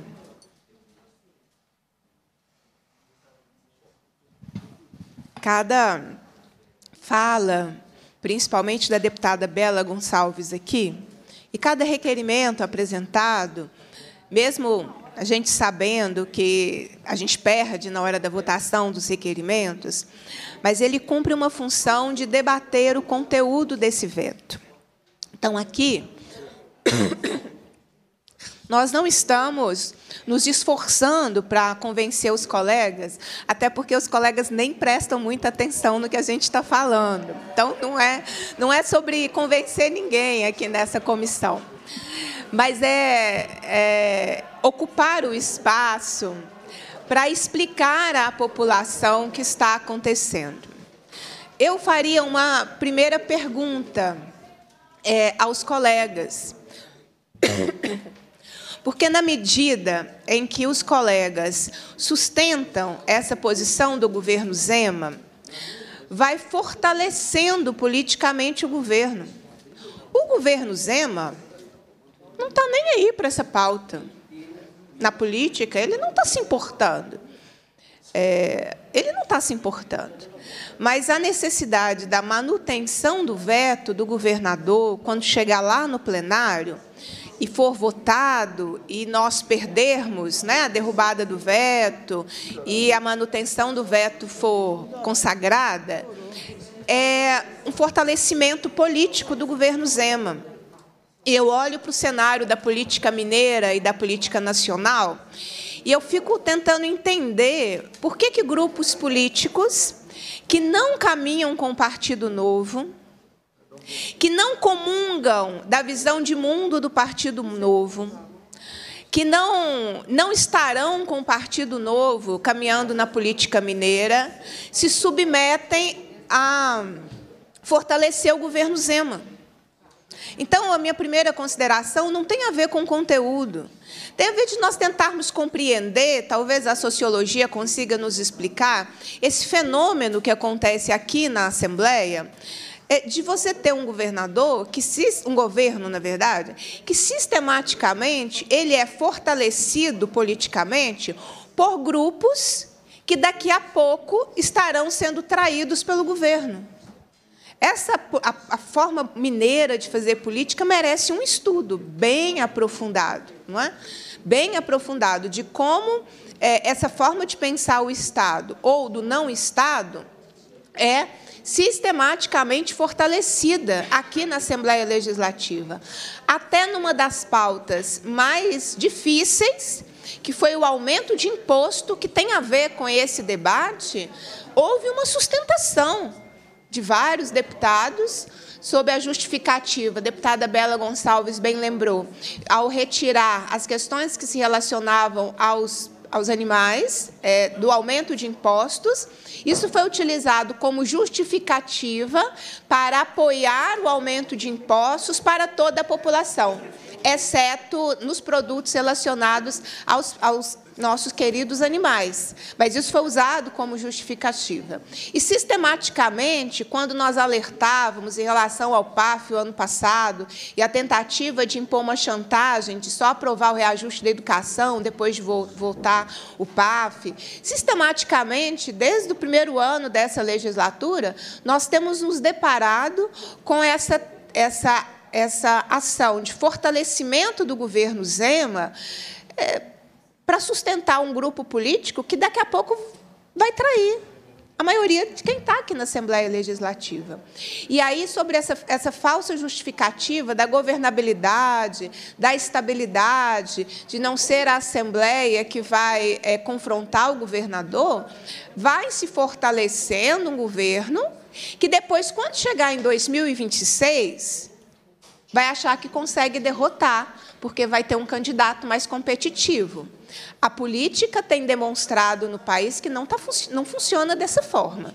Você passa quatro anos sustentando a política da não política e aí, quando chegar quatro meses do processo eleitoral, você querer dizer à população que outro caminho é possível, sendo que você passou quatro anos fortalecendo essa prática na política, eu estou para tentar entender o que, que tá, o que, qual é a dinâmica, né? Aqui na, na, na política mineira, do qual o parlamento é um lugar essencial. Então, eu queria, gastei a maior parte do meu tempo, mas eu queria fazer essa, essa reflexão. Depois, é, sobre o veto, nós estamos disputando o orçamento.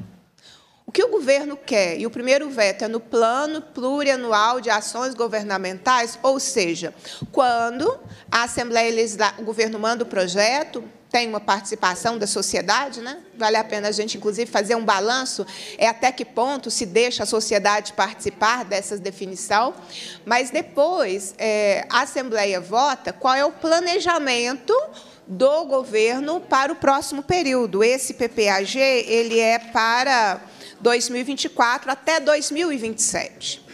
E aí, no plano plurianual, que é o objeto desse nosso veto, que é o de número 10, depois vai ter o veto número 11, e depois ainda vai ter a reunião do veto 8. Então, eu sugiro todo mundo trazer lanchinho reforçado, o meu já está ali, inclusive, que hoje vai render, né?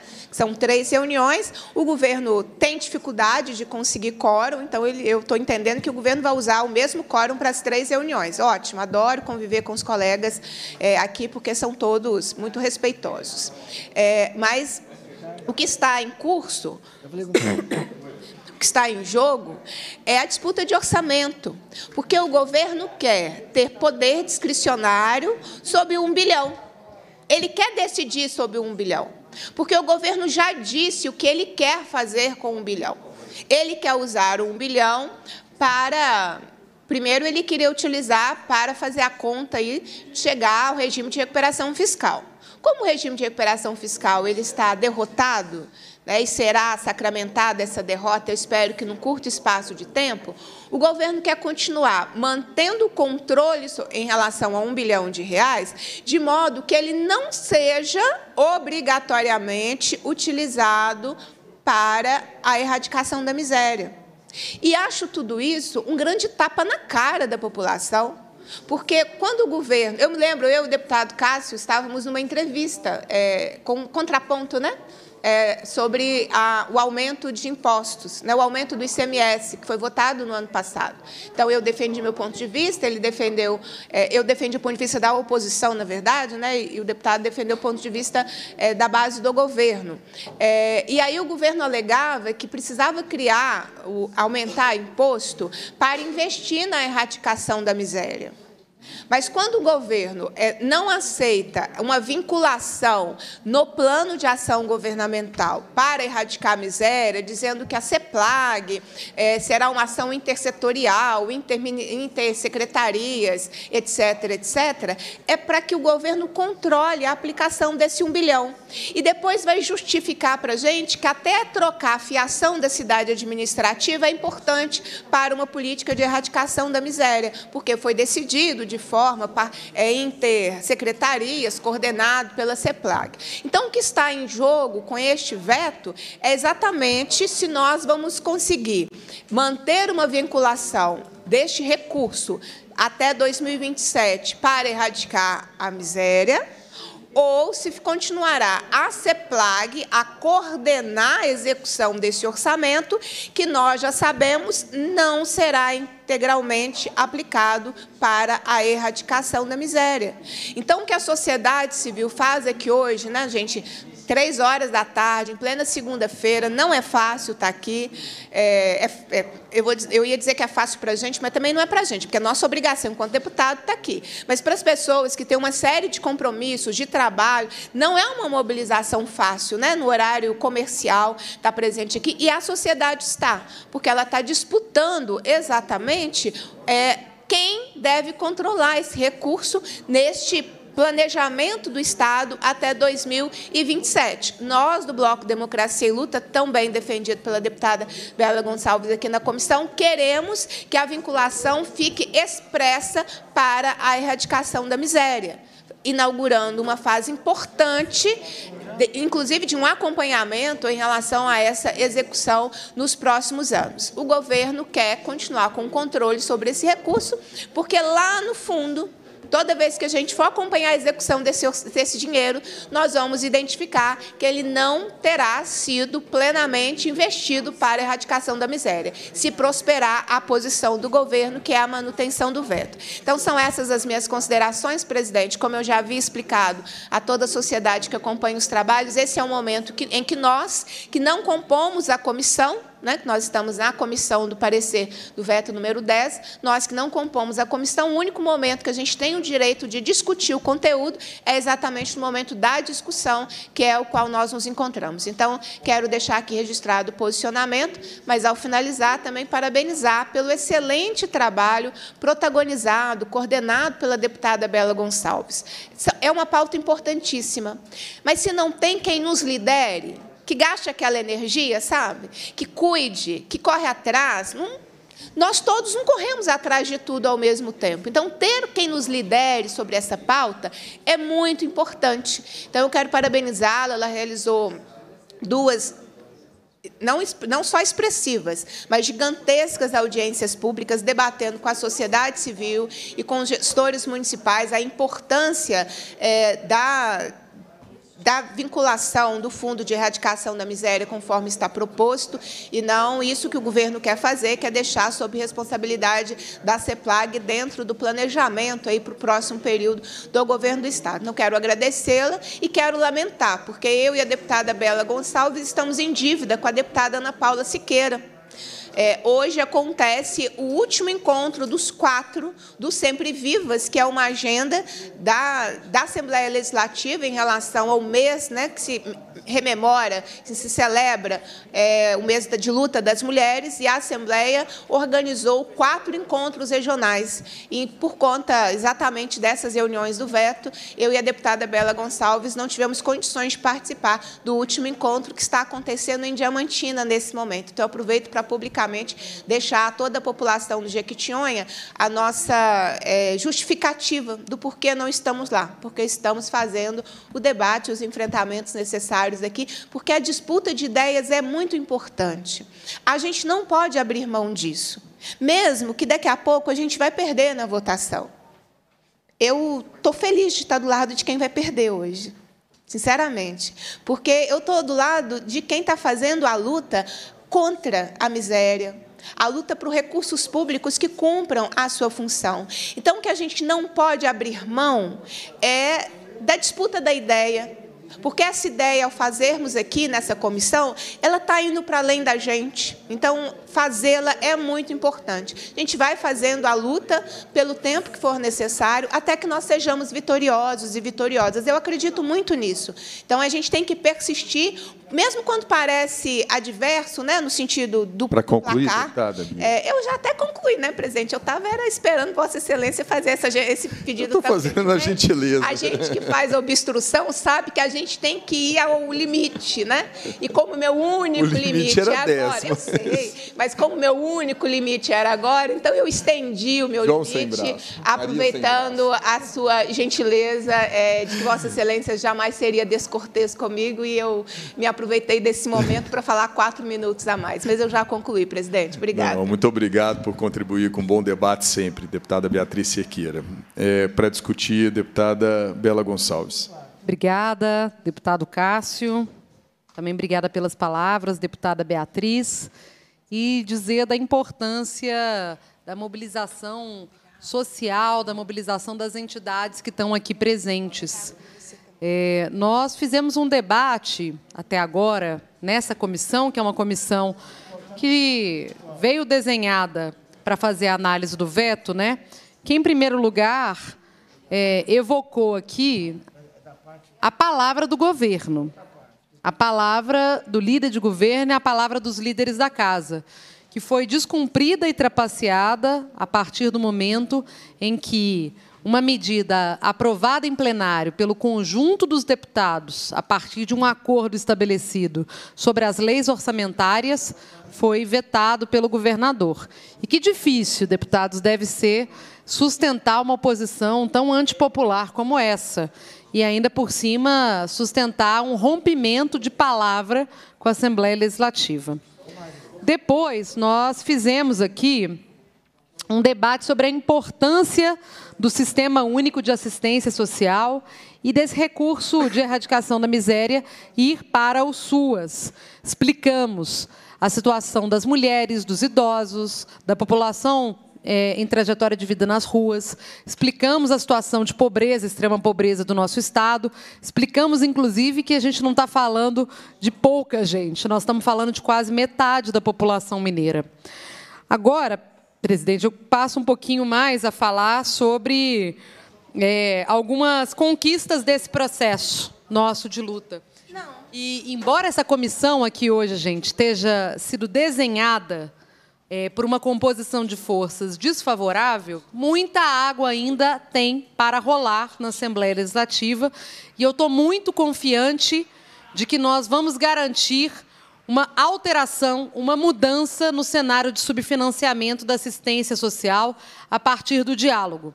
Queria é, usar esse momento agora para dizer o que fizemos em parceria com os movimentos e entidades, desde o momento em que soubemos da quebra de palavra do governo com a Assembleia, da quebra de acordo é, entre o ZEMA, o governo de Minas, e a Assembleia Legislativa de Minas Gerais, representando o povo mineiro.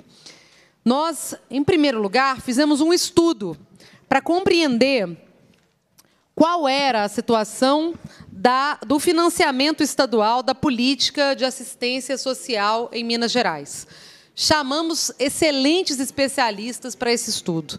A Fundação João Pinheiro e a UFMG, com a CDPLAR, participaram da construção de uma reflexão robusta sobre o desfinanciamento da assistência em Minas Gerais, que mostrou que nós temos hoje uma defasagem no número de registro e inclusão de pessoas no CAD único, sendo que apenas 330 municípios têm postos de cadastramento no CAD único no estado, e mostramos como que a pandemia, como que a crise econômica aqui em Minas Gerais fez com que o número de inscritos no CAD único quase dobrasse no nosso estado, fazendo com que o repasse hoje para os municípios, que já era baixo, era um repasse de R$ 2,40 por família, se reduzisse ainda mais a quase pó. Esse estudo ficou muito interessante. Mostramos também o que poderia ser feito caso a palavra do governo seja cumprida, com o atrelamento do recurso do Fundo de Assistência Social para o FEAS, que direciona esse recurso para os municípios mineiros vimos que os municípios do norte de Minas, Jequitinhonha e Vale do Mucuri, por serem os municípios que têm mais pessoas em situação de pobreza, extrema pobreza, seriam aqueles que proporcionalmente mais se beneficiariam com o orçamento. Mas que, em números absolutos, municípios como Belo Horizonte poderiam ter aportes anuais de 83 milhões de reais e nós vamos lutar para que a capital do Estado tenha esse recurso para fazer as políticas que precisa, para que todos os 853 municípios tenham esse recurso garantido.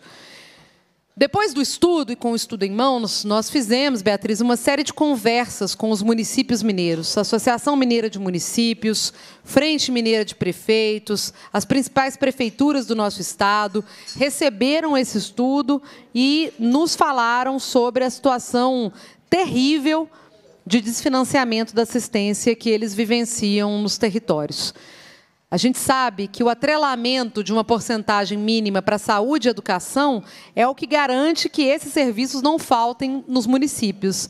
Mas, no caso da assistência social, a ausência de um fundo, a ausência de um piso, a ausência de um critério mínimo de atrelamento do orçamento, faz com que quem tem alguma coisa para investir, invista, quem não tem, vai deixar a população desguarnecida. Essa é a realidade que os municípios nos passaram.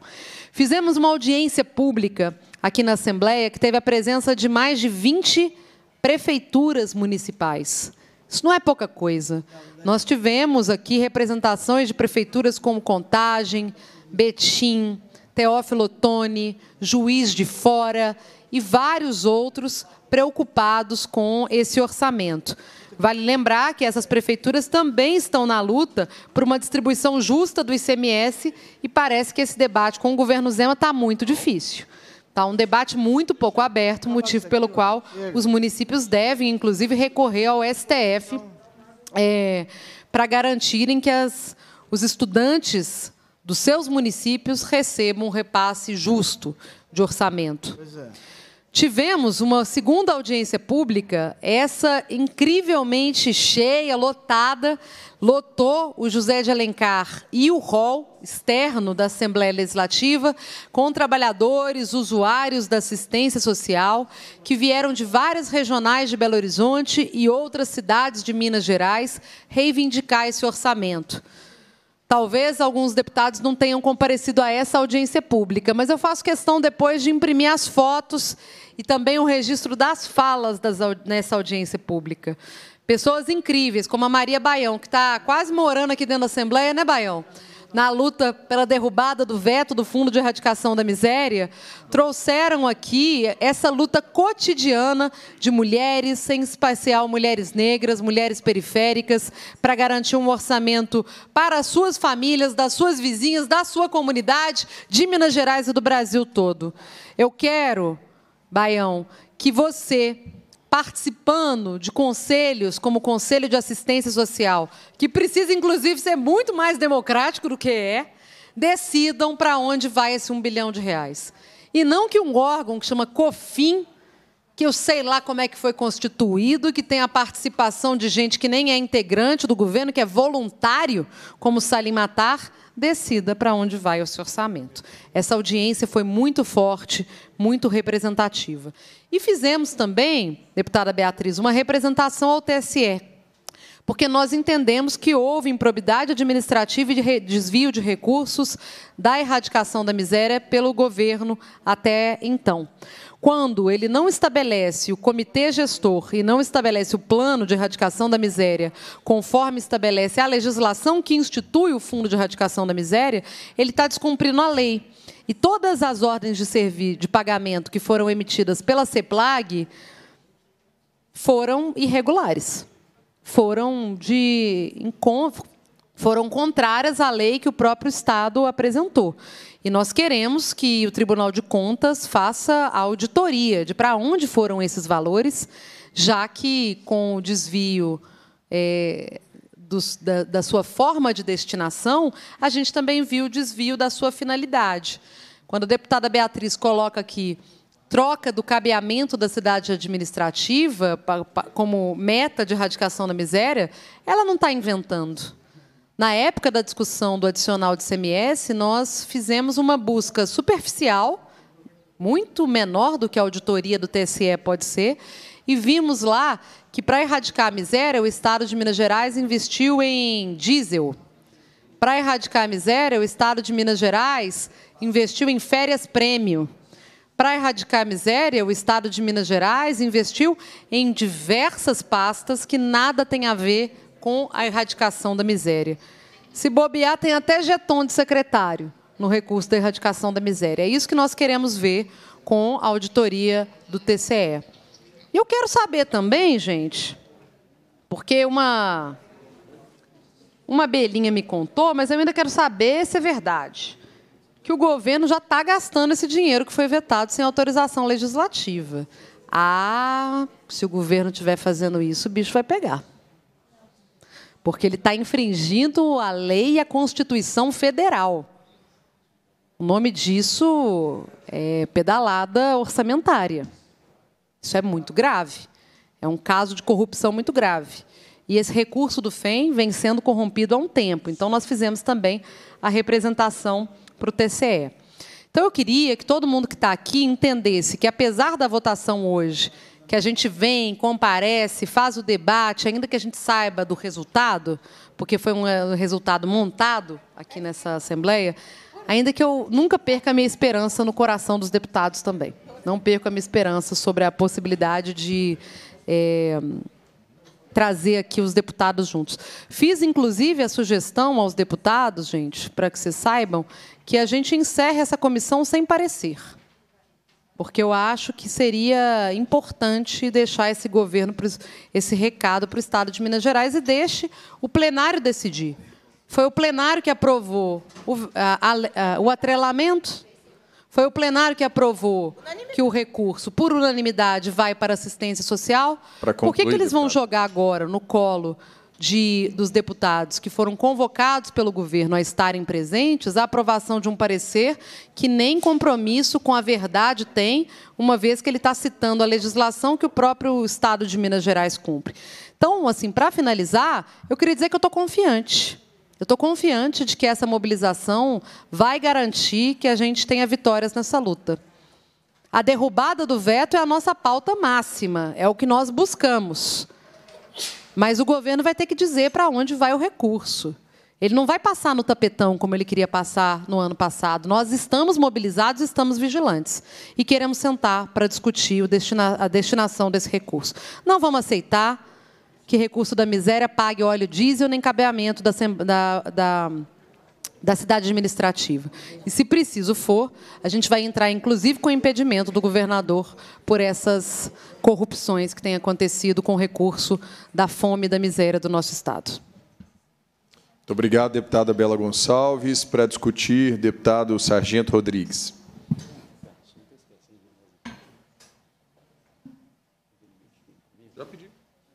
Obrigado, presidente.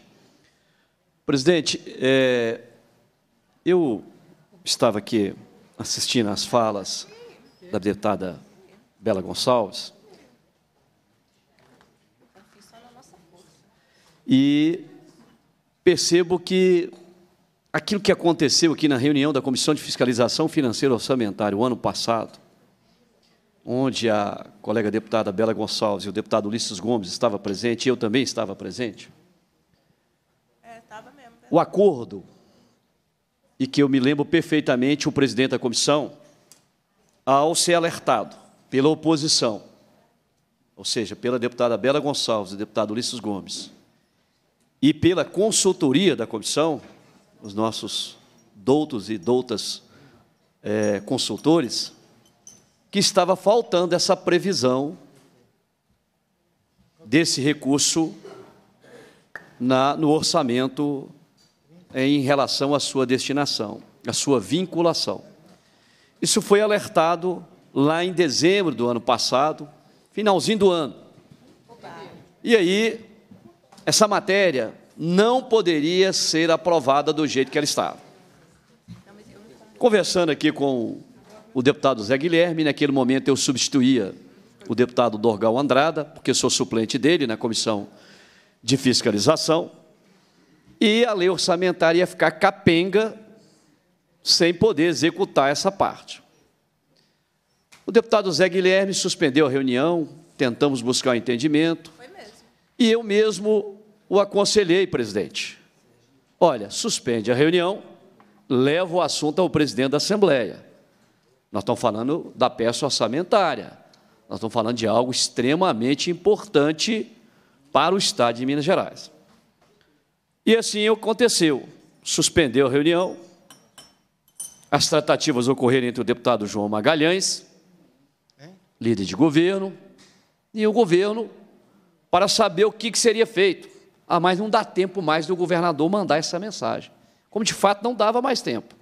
Porque existe um, um, um, um aspecto formal, protocolar, que a mensagem tem que ser encaminhada, ela tem que abrir uma sessão ordinária, ser lida, publicada e encaminhada à comissão. Não daria tempo, porque se eu não estou equivocado, devia ser no dia 20. Eu queria que, enquanto eu falo aqui, a assessoria pudesse levantar. Devia ser 20 ou 19 de dezembro. O fato é, nós encerraríamos o, o para a entrada do recesso parlamentar no dia 21.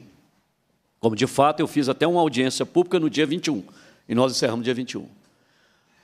Feito o alerta, suspendeu-se a reunião, o líder de governo entra, faz as tratativas com o governo, não, então tudo bem. Então, o relator, o deputado Zé Guilherme, faria a emenda em nome do governo com a chancela do governo, prevendo exatamente a aplicação desses recursos para o Fundo de Erradicação da Pobreza e da Miséria. E a gente depara com o veto do próprio governador. O governador veta aquilo que ele mesmo fez acordo. Me fez lembrar da fatídica ata da segurança pública, que nós ficamos do dia 22 de fevereiro de de 2019 a 22 de novembro de 2019, negociando com a maior diplomacia política, com o secretário de governo e com o secretário de planejamento. Negociado, batido o martelo, três parcelas de recomposição para a segurança pública, quatro chefes de polícia assinaram, dois secretários, um de planejamento de governo, nove deputados federais estaduais, 15 presidentes de sindicatos e associações, depois o governador vetou duas parcelas. Me fez lembrar isso. E quando a deputada Bela Gonçalves usou aqui o, o termo o Zema não tem palavra, eu falei, assim, aí não pode, aí está levando a nossa hashtag Zema não tem palavra. Como de fato não tem palavra. Inclusive eu estou pensando aqui, provei um, apresentei um projeto sobre propaganda enganosa, conforme dispõe o artigo 73, parágrafo 2 da Constituição do Estado, falando que é proibido fazer propaganda enganosa. O que vem acontecendo com a segurança pública em Minas Gerais. Ontem eu postei um vídeo nas minhas redes sociais de um minuto de palestra do governador Romeu Zema, lá em Porto Alegre, falando sobre segurança. Gente, quem vê a palestra fala: Meu Deus do céu. Acredita, né, Ê mundo de Alice, ê estado de Alice. É assim, tem maravilhoso. Não falta equipamento, não falta viatura. Só falta dizer a verdade.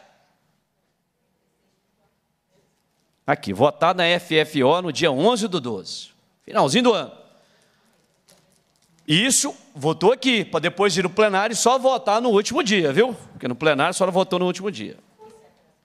E ele falando sobre segurança pública, ele só não disse que os equipamentos e as viaturas todas foram compradas, todas adquiridas com emendas parlamentares estaduais e federais. Não há investimento. E aí não adianta, pode trazer aqui os melhores especialistas dessa área para contrapor a minha fala, porque lá na Comissão de Segurança, o que, que a gente faz? A gente tem batido numa tecla constantemente. Quais são os investimentos, investimento e custeio nos setores da segurança pública? É vexatório, vergonhoso. Então, se ele não cumpriu a palavra, porque eu estava aqui, eu sei o que eu falei para o deputado Zé Guilherme, presidente da Comissão de Fiscalização.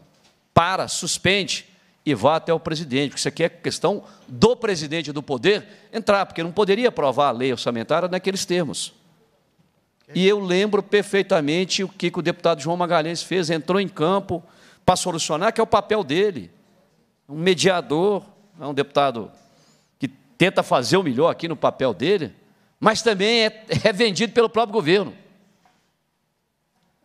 Porque o governo toma decisões e quando vai tomar esse tipo de decisão, não consulta. O líder de governo, às vezes, deixa até o secretário de governo vendido. Então, quando eu ouvi a frase Zema não tem palavra, eu falei, aí não pode, aí está. Como é que fala? Esse plágio, né? Aí a deputada Bela Gonçalves está plagiando a segurança pública. Mas como ela está falando a verdade, é um plágio, ela está falando a verdade, não tem problema. É plágio do bem, né? Plágio do bem não tem problema. Então não tem palavra. Eu estava na comissão de fiscalização e eu não poderia aqui deixar de dar esse testemunho. Porque se faz isso com fundo de erradicação da miséria, e aqui eu gostei muito da, do comparativo feito, né, quando fala aí que não pode faltar, não pode aumentar o, o, a, o imposto sobre a ração para os pets, mas e o ser humano? o ser humano é deixado de lado? Porque nós estamos tratando de um recurso destinado ao fundo da erradicação e da miséria no estado de Minas Gerais. E o recurso deveria, esse recurso deveria ser sagrado, carimbado, e não no caixa único do chamado buraco negro do Estado. Que uma vez jogado lá, ninguém sabe para onde vai, ninguém sabe aferir para onde foi destinado, porque é um buraco negro chama Caixa 1 do Estado. Eu venho tentando vincular recursos para a segurança pública com a taxa de segurança pública há mais de duas décadas, e o governo entra, o governo sai governo, ninguém deixa. Porque só quer no Caixa Único. É o que estão fazendo com o Fundo de Erradicação da Miséria. É covardia. fazer isso com as pessoas mais necessitadas. E não adianta vir aqui tentar escrever um parecer, porque no direito, nós que aprendemos um pouquinho do direito, nós sabemos que o direito é elástico, não é ciência exata. Aí você pode fazer uma série de, de vai para lá e vai para cá com o direito que ele aceita, mas a realidade não aceita. O recurso deveria ir para o fundo de erradicação da miséria de forma era carimbada, vinculado. Se existe um recurso que deveria estar lá, porque nós estamos falando algo em torno de um bilhão de reais. Se eu tiver equivocado, por favor, me corrija. Um bilhão de reais, ou 1,1, 1,2, algo assim. Mas não faltou isenção para o Salim matar com a localiza. Eu isento um bilionário de pagar imposto, bilionário, e retiro dos miseráveis. É isso realmente que é a proposta do governo neste veto? É óbvio que o, o meu voto já estava definido, deputada Bela, até porque eu fui, eu fui partícipe da, daquilo que aconteceu na comissão de fiscalização. E a Assembleia, o deputado João Magalhães entrou em campo, cumprindo o seu papel dele. Para concluir, deputado. Digo, digo que o João faz aqui uma. Como é que eu vou dizer aqui, presidente? O João faz uma ginástica.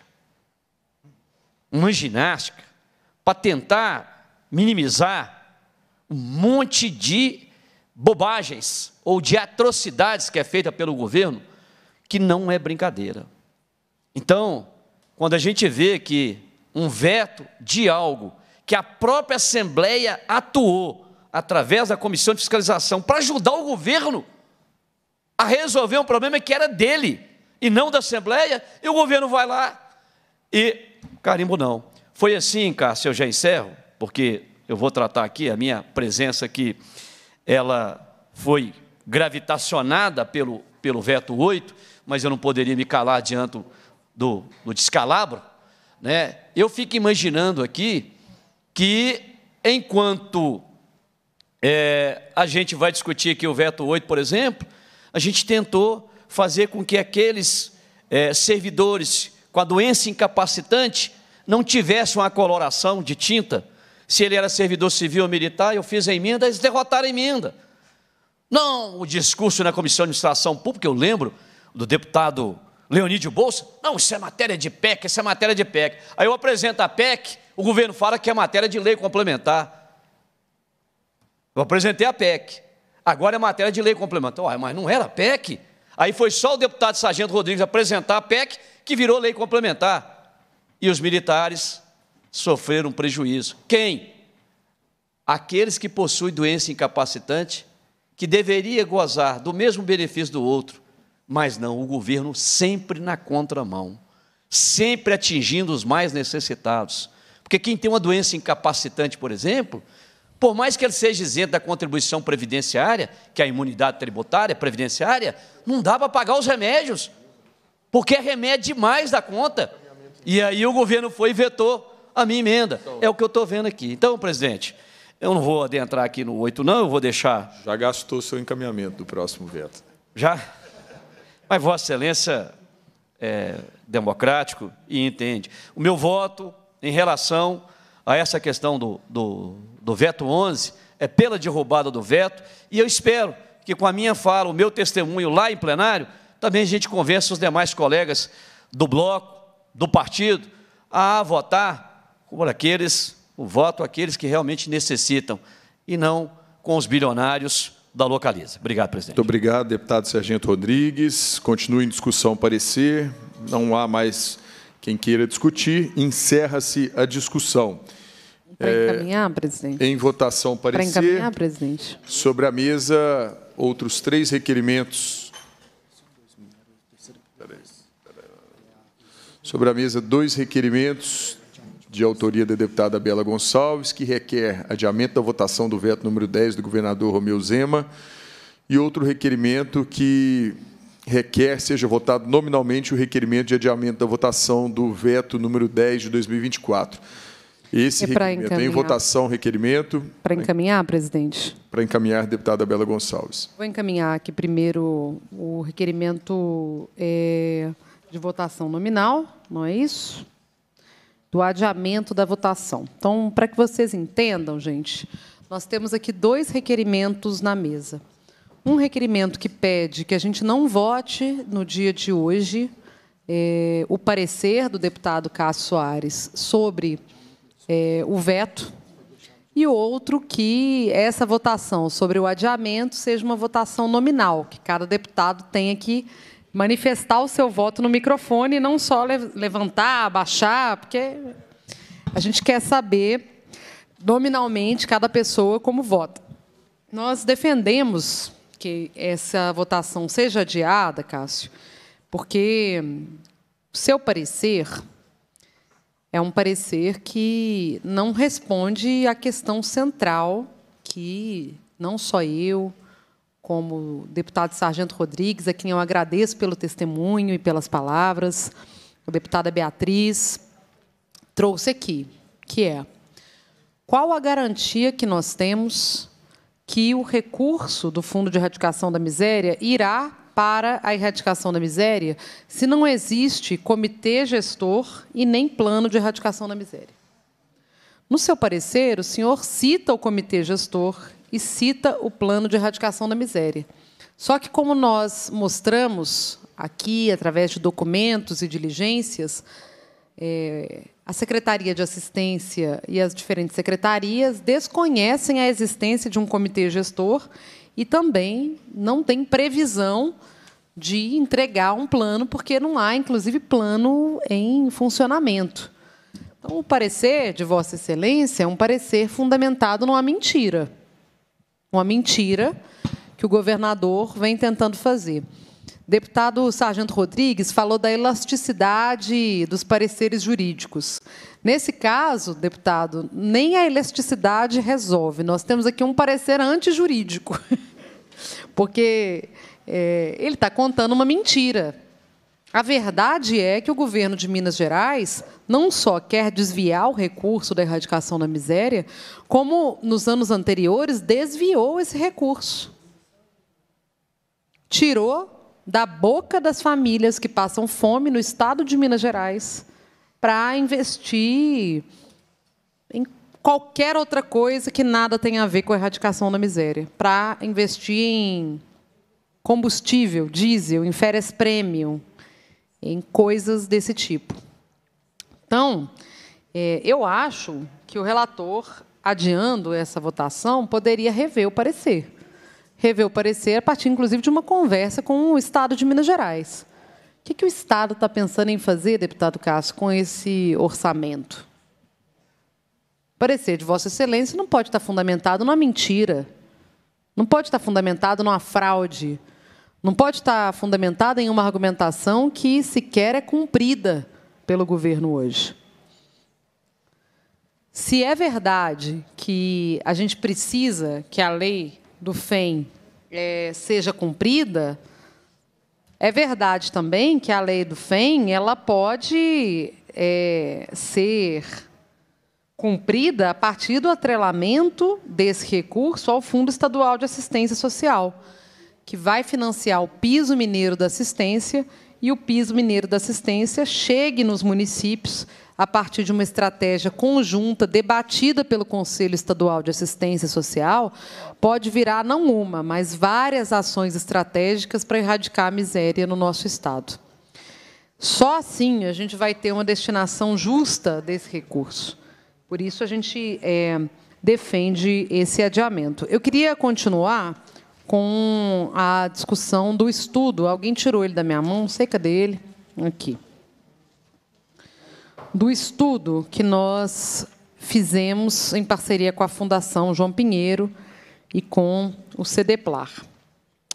É, o estudo vai mostrar que a criação do Fundo de Erradicação da Miséria é fundamentada numa emenda constitucional, que é a emenda 31 dos anos 2000, que permitia e autorizava que os estados cobrassem um ICMS adicional em itens considerados supérfluos, ainda que muitos deles, que foram considerados supérfluos pelo Estado, não sejam, tal como a ração de PET, que depois foi retificada, ou como vários cosméticos, materiais de limpeza e outros produtos que são essenciais. Um desses produtos essenciais é o telefone, o smartphone. Eu não consigo pensar no mundo tecnológico de hoje em nada mais essencial para a conectividade das famílias, das pessoas, das diferentes classes sociais, do que o, o, o smartphone. Então, é, vários desses produtos que eram considerados supérfluos, nem supérfluos eram. Mas, considerando que alguns de fato eram supérfluos, é, permitisse criar um adicional de CMS. Em 2011, foi criada, então, o Fundo de Erradicação da Miséria em Minas Gerais, que chegou a reunir um comitê gestor para poder debater a destinação dos recursos. Essa política foi, no entanto, abandonada pelos governos que desviaram esse recurso. No ano passado, a gente teve a renovação do FEM no estado de Minas Gerais. E é, essa renovação ela precisava da autorização legislativa para que houvesse um emprego dos recursos. É, essa autorização legislativa foi dada, o recurso foi começou a ser captado pelo Estado de Minas Gerais, no entanto, ele não constou na lei orçamentária. Esse é o grande embrólio que a gente encontrou no final do ano passado. É, podemos solucionar esse embrólio gerando uma situação de alívio para as famílias e para os municípios, deputado Cássio. Municípios esses que com certeza ficarão muito gratos a todos os deputados dessa casa, caso passem a receber os montantes do Fundo de Erradicação da Miséria. O estudo se focou em qual seria o impacto para os municípios do estabelecimento desse fundo. E aí, a gente trouxe aqui é, os valores, mas eu acho que os valores absolutos eles dizem menos do que é, a política em si, né? Do que, que pode significar em política. Quando a gente fala que Belo Horizonte pode receber 83 milhões de reais, a gente está falando da abertura, da possibilidade de abertura, não apenas de mais CRAS na Norte, que é uma das demandas que está ali na plaquinha dizendo que Juliana e Monte Azul querem um CRAS na região norte. Mas a abertura de muitos mais equipamentos pela cidade como um todo.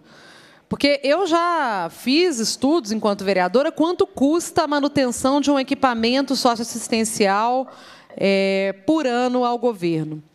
Um equipamento de abrigamento, ele custa ao Estado cerca de um milhão de reais por ano.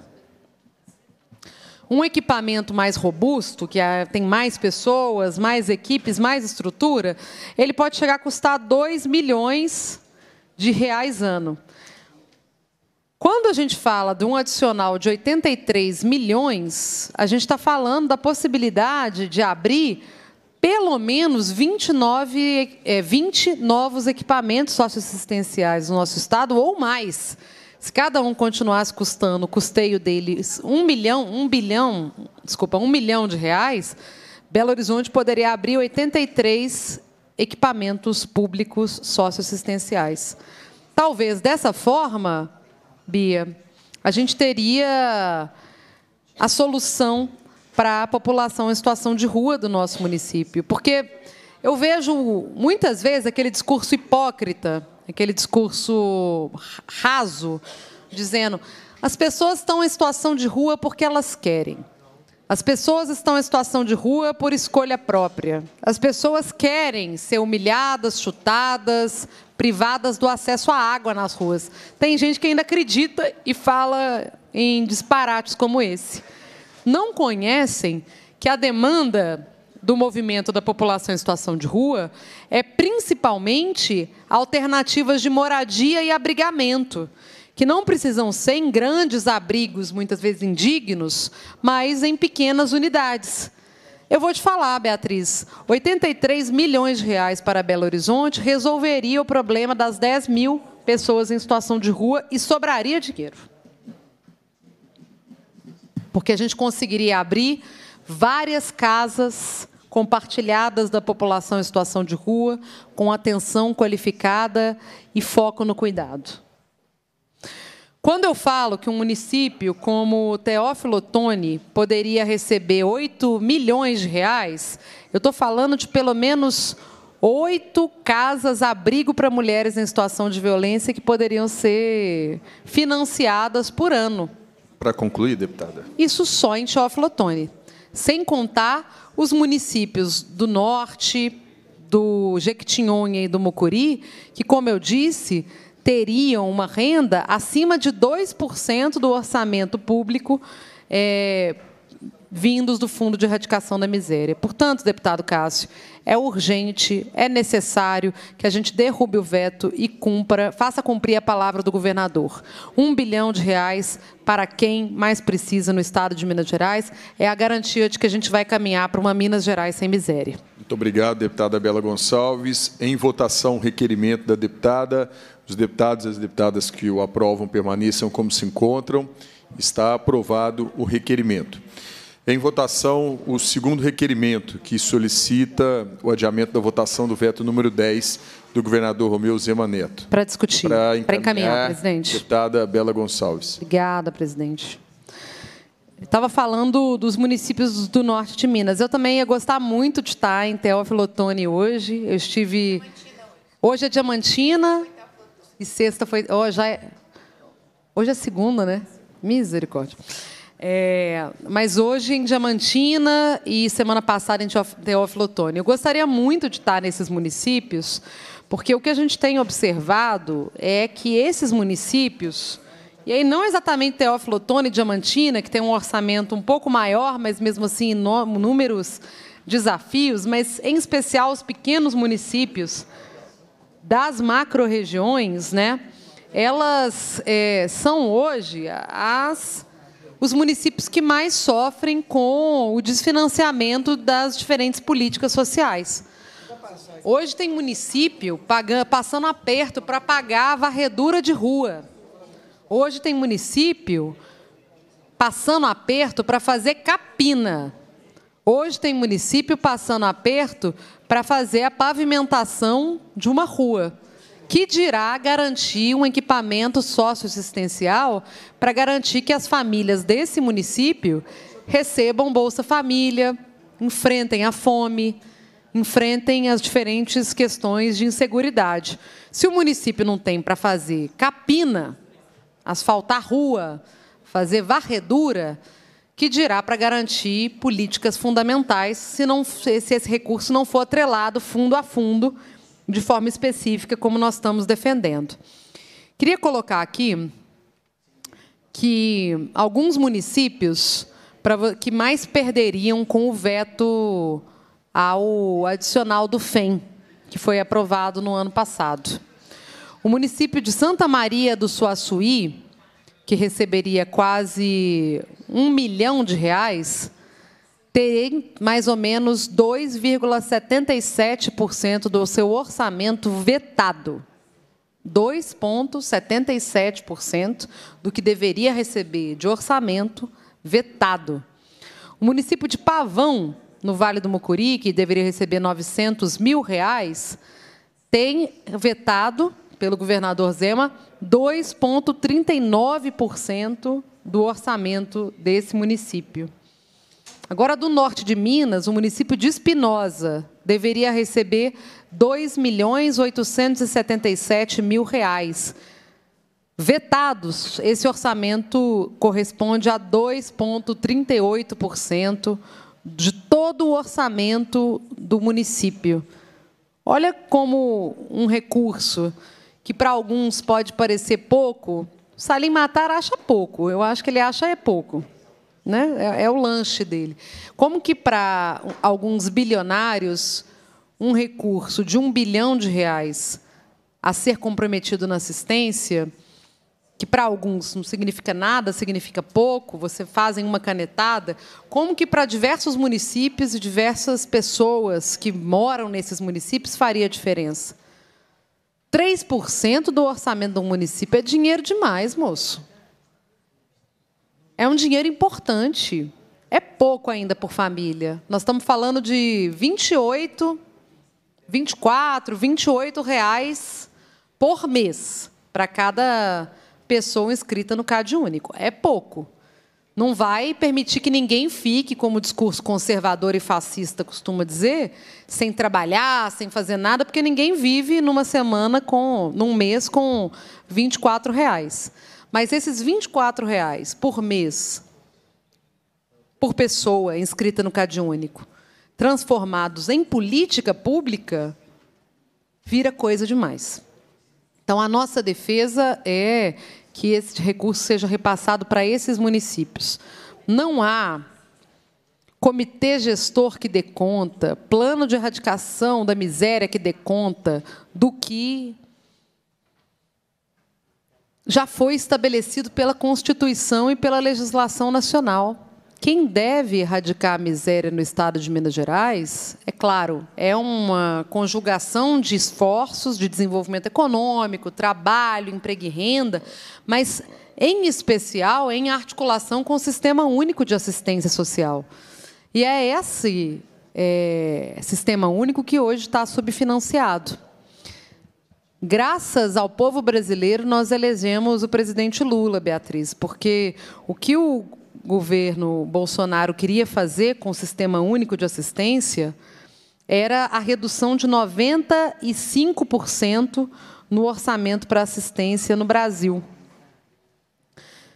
Nós conseguimos reverter isso, ampliar o Bolsa Família, criar uma robustez para o Bolsa Família, e agora é preciso que ele chegue na ponta. Como que ele vai chegar na ponta? Só vai chegar na ponta se o município tiver um posto de cadastramento, no CAD único para as famílias, se tiver funcionários fazendo esse trabalho, se tiver uma busca ativa das famílias, se tiver uma condição para que as famílias, de fato, é, acessem direitos e dignidade. Quando a gente fala que 46% da população mineira está inscrita no CAD único, eu me pergunto, uai, gente, qual a porcentagem da população que não está com a regularidade do CAD único que está esperando na fila pela regularização ou que nem sabe desse direito que existe no nosso Estado. Porque quando só tem postos de credenciamento em 330 municípios, significa que mais da metade dos municípios mineiros não tem onde as famílias se cadastrarem no CAD único. Então, assim, eu acho que a gente precisava fazer um, um grupo de trabalho aqui na Assembleia Legislativa para entender o que está acontecendo com políticas do governo federal, como LOAS, como Bolsa Família, nesses municípios que sequer postos de cadastro no Cade Único têm. Pode isso? Pode um município não ter um posto de cadastramento para as famílias acessarem o Bolsa Família, acessarem o BPC, acessarem a LOAS? Pois é, mais de metade dos municípios não tem. Como que a gente altera esse cenário? destinando recurso para que todos os municípios abram postos de cadastramento, para que as famílias recebam recurso do governo federal. Olha a gravidade disso, gente. Minas Gerais está em dívida com a União e está dispensando dinheiro. Porque se a gente amplia o número de famílias inscritas no Cade Único, é mais orçamento para o nosso Estado. Mais dinheiro na mão das famílias é mais giro da economia local. É mais garantia de orçamento para os municípios, é mais garantia de orçamento para o comércio, é mais garantia de orçamento para o supermercado, para o mini mercado, para, para o trabalhador rural, para todo mundo. Garantir que as pessoas acessem renda aquece a economia de um estado inteiro. E nós estamos abrindo mão de ter funcionário fazendo cadastro das famílias no CAD único. Durante a pandemia, nós tivemos que brigar. Eu era vereadora aqui em Belo Horizonte, nós tivemos que brigar, porque tinha quase 16 mil famílias em Belo Horizonte esperando nas filas do Cade Único, porque o governo do estado não tinha repassado recurso para os, cadastra... para os cadastradores que são vinculados à MGS. Olha a gravidade disso. Isso num município estruturado, um município que tem orçamento como Belo Horizonte. Agora, imagina Espinosa e Santa Maria do Suaçuí, que o recurso vetado, numa canetada pelo Zema, representa 3% do orçamento do município como um todo. É grave a situação, Cássio. Nós precisamos construir um pacto com o governo para que atrele parte do recurso do, da erradicação da miséria para ampliação cadastral das famílias no CAD único. Sabe, nós não estamos aqui intransigentes, queremos só desgastar o governo, estamos aqui fazendo pauta de oposição porque nós queremos xingar o Zema. Eu até gosto de fazer oposição e não é tão difícil xingar o Zema, mas não se trata de uma pauta da esquerda ou da direita. Quando a gente fala do estado de Minas Gerais, que tem 46% da sua população em situação de pobreza, extrema pobreza, nós temos que refletir como que essa população está vivendo. Se a política está chegando na ponta. Se o município, se ao município é dada a condição de minimamente cadastrar essa família para receber recursos do governo federal. Porque se o governo do estado não quer fazer uma política de transferência de renda, não quer fazer uma política de construção de equipamentos, minimamente cadastrar as famílias ela, ele precisa. E como que nós temos só 330 municípios com posto de cadastramento? Isso não dá. Isso é muito grave, isso é muito. Isso é terrível, né? A deputada Beatriz me passou um bilhete aqui importante que falou que um, bilhão, um milhão de reais um milhão, só um milhão desse bilhão, né, que é o que o município de Santa Maria do Suaçuí deveria receber. Corresponde a 1.364 cestas básicas. Agora, multiplica isso aqui por um milhão. Por um bilhão. Para concluir, deputada. São muitas e muitas cestas básicas. Eu não gosto de reduzir a cesta básica, mas a cesta básica ela traduz a cesta básica é o que a família precisa para poder sobreviver durante um mês. Muito difícil uma família consegue sobreviver com isso. Olha quanta gente ia se alimentar se esse recurso é, for bem empregado por essa Assembleia Legislativa. Essa é a luta mais importante que a gente tem para fazer, deputado Cássio. Não tem nada mais importante que a gente possa fazer e gastar nosso tempo fazendo do que chamar o governo a fazer esse debate e pensar nessas pessoas. Muito obrigada. Eu que agradeço, deputada Bela Gonçalves. E em votação, requerimento que solicita o adiamento da votação de maneira nominal. Como vota o deputado Tiago Cota? Não. Voto não, presidente. Como vota o deputado João Magalhães? Voto não, senhor presidente. Como vota o deputado Gil Pereira? Não. Como vota a deputada Bela Gonçalves? Eu voto pelo adiamento. E eu também voto não. Está rejeitado o requerimento. Em votação, o requerimento da deputada Bela Gonçalves, que solicita que seja votado nominalmente o parecer do veto número 10 de 2024. Para encaminhar, Para encaminhar. a deputada Bela Gonçalves. Obrigada. Você já viu que eu nem tinha pedido, o Cássio já me deu a palavra, né, Cássio? Mas vamos que vamos. vamos caminhar aqui. Eu acho que Assim como nos demais votos, a população mineira pode saber, quer saber como votaram os deputados nessa sessão aqui de apreciação do veto. Eu só acho injusto com vocês, porque a quebra de acordo e de palavra foi do governador. Foi do governador com a Assembleia Legislativa, como bem explicou o deputado Sargento Rodrigues. Agora, para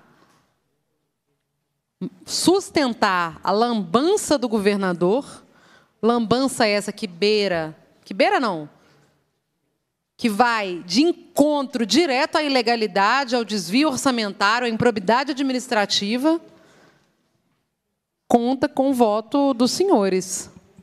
Eu imagino que deve ser muito, muito melhor votar por um acordo que permita o atrelamento do recurso da erradicação da miséria ao Fundo Mineiro de Assistência do que ter que sustentar algo aqui insustentável. Eu reparei uma coisa, Beatriz, muito interessante. Nós fizemos duas audiências públicas, a comissão do veto é, e vários outros debates. Até hoje, nenhuma pessoa do Estado deu uma justificativa plausível ou tentou justificar o porquê do veto. Os motivos do veto são baseados numa lei que o Estado descumpre, que fala do comitê gestor e do fundo do plano de erradicação da miséria. Ora, se ele sequer existe, então esse argumento não é válido. Qual outro argumento que o governo tem para manter, sustentar a manutenção desse veto? Nenhum. Nenhum. Assim, é, é tamanho desrespeito com a Assembleia Legislativa que não só se quebra a palavra, se quebra acordo, se quebra o estabelecido e acordado e votado pela Assembleia, como agora, para tentar desfazer essa decisão, o governo não chamou uma reunião com os deputados, não mandou um representante para tentar explicar o que, aconteceu. Até agora eu não sei o que aconteceu. Não sei. João Magalhães tentou me explicar que na verdade era assim, mas que, que a pessoa que deu o aval, que na verdade não podia dar o aval. Eu não entendi muito bem. Eu não entendi muito bem. Eu acho que é porque não tem justificativa mesmo, né? Eu acho que é porque não tem legalidade mesmo. Não tem, não tem base mesmo. É... A gente está se rebaixando demais enquanto poder legislativo nessa discussão aqui. E não é à toa que o plenário de votações da Assembleia está paralisado sem apreciar nenhum dos vetos. A Assembleia está tentando entender o que, que aconteceu. Que a palavra do governador foi dada num dia, no outro dia foi retirada, e ele nem volta aqui para a Assembleia para tentar se explicar. Nem faz uma declaração sobre o assunto. Nada. É, de fato, o governador acha que lidar com a base dele aqui na Assembleia é só tomar um cafezinho e tirar foto, como ele disse na semana passada, no ano passado. Você lembra disso, né, deputada Bia? O governador falou para os deputados que, ah, não, deputado da base, é fácil lidar com eles, é só tomar um cafezinho de vez em quando, tirar foto. Mas eu não tenho nada para debater com eles, não. Como se a gente, enquanto casa legislativa, não tivesse nada a acrescentar, nada a agregar para o governo de Minas Gerais. Só que a gente tem, né? A gente tem. A gente derrotou no ano passado o regime de recuperação fiscal. O regime de recuperação fiscal, e aí quem está aqui acompanhando, né, sabe que é, ele foi dito enquanto única solução. Os deputados da base do governador Zema tiveram que votar nas comissões a favor do plano de recuperação fiscal, foram desgastados na sociedade, na imprensa, para todo lado, para depois o governador de Minas vir falar que de fato o regime de recuperação fiscal não resolvia nada mesmo, não. Ô, gente, Vocês estão se rebaixando demais? Desculpa.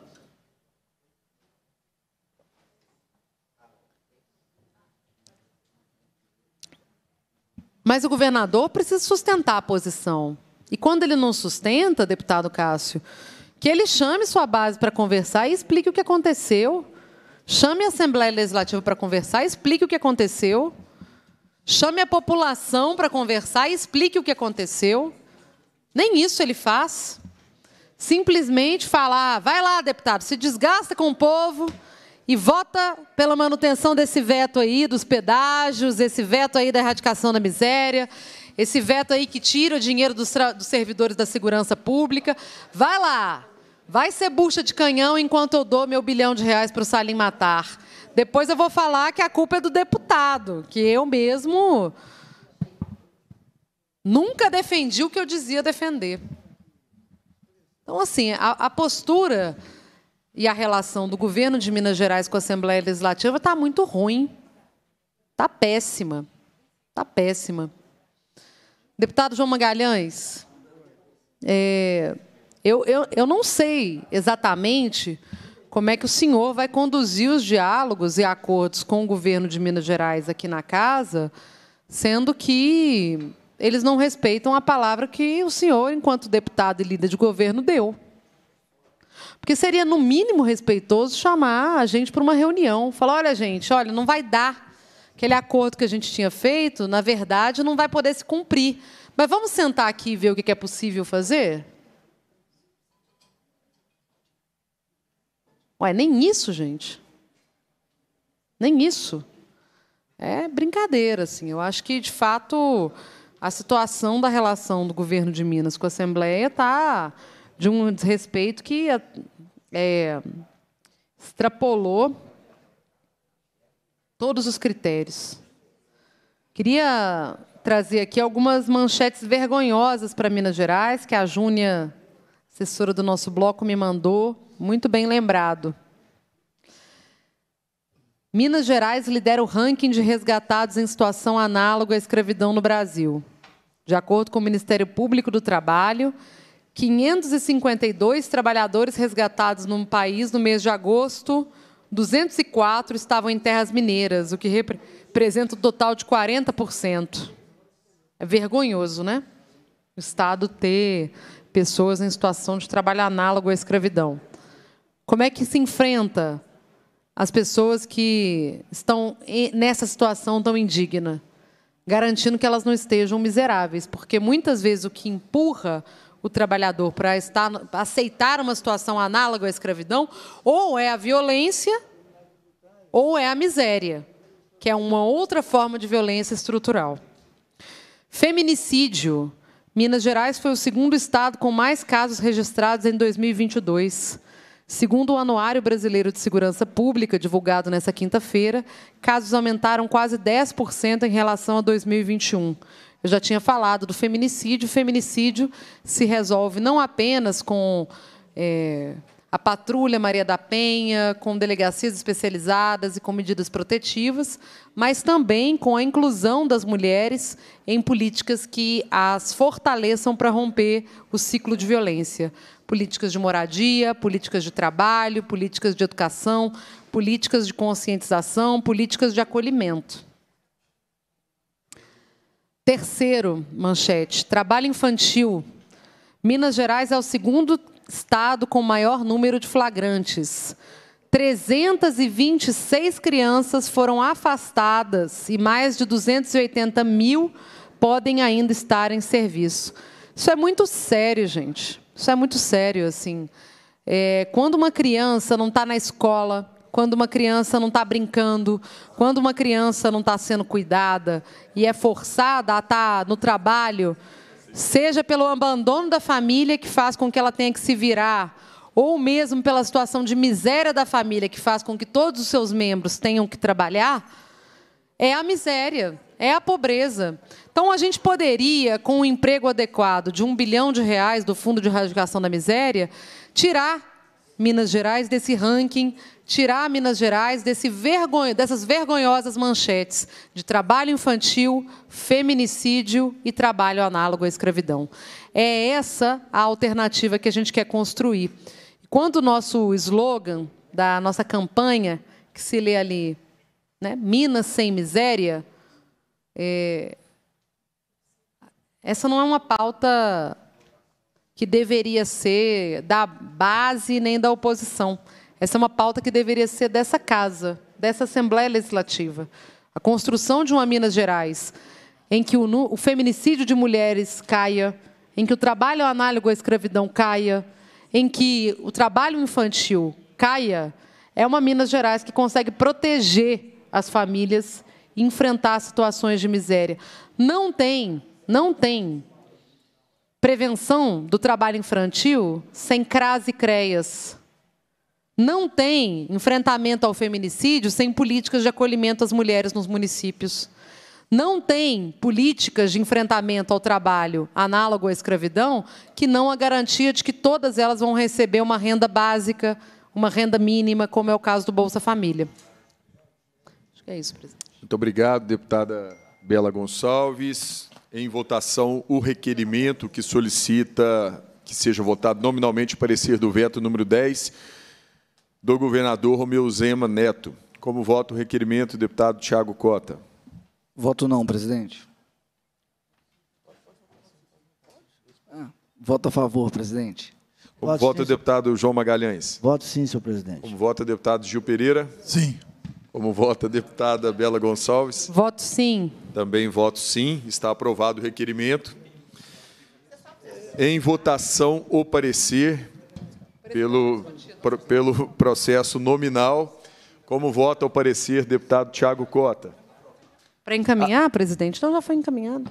Desculpa, encaminhado. Já, já estamos em processo presidente. de votação, deputado. Não, para encaminhar, presidente. Não, ninguém estamos, votou Depois ainda, você pode presidente. declarar voto, deputado. Não, depois a declaração de voto de é outro. Encaminhamento...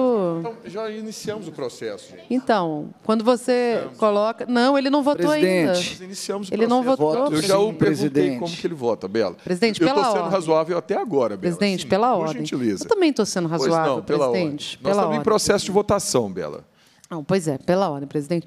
Cabe a, aos deputados integrantes da comissão discutir o voto e encaminhar. Sim, eu fiz o encaminhamento, eu fiz o encaminhamento, pedi o encaminhamento do voto. Vossa Excelência já tínhamos me ignorou. Não ignorei. Vossa me Excelência perdoe, me ignorou. Gonçalves. Me ignorou. Não é verdade o que você está dizendo. Eu não ignorei. Nós já havíamos. Na hora que você leu o parecer, eu falei assim para encaminhar, não. presidente. Podemos chamar o VAR. É. Não foi, Bela. Foi. Foi. Só que eu já havia passado, já havia, não, ninguém eu já havia ainda. perguntado, deputado Tiago Cota, como vota o deputado Tiago Cota? Não, eu falei para encaminhar, presidente. Para encaminhar. Havia passado para ele, gente. Nós estamos em processo de votação. Pois não, por cinco minutos, deputada Bela Gonçalves. Faça o seu encaminhamento. Fazer o um encaminhamento aqui da votação. É, eu tam, também estou sendo razoável aqui, presidente.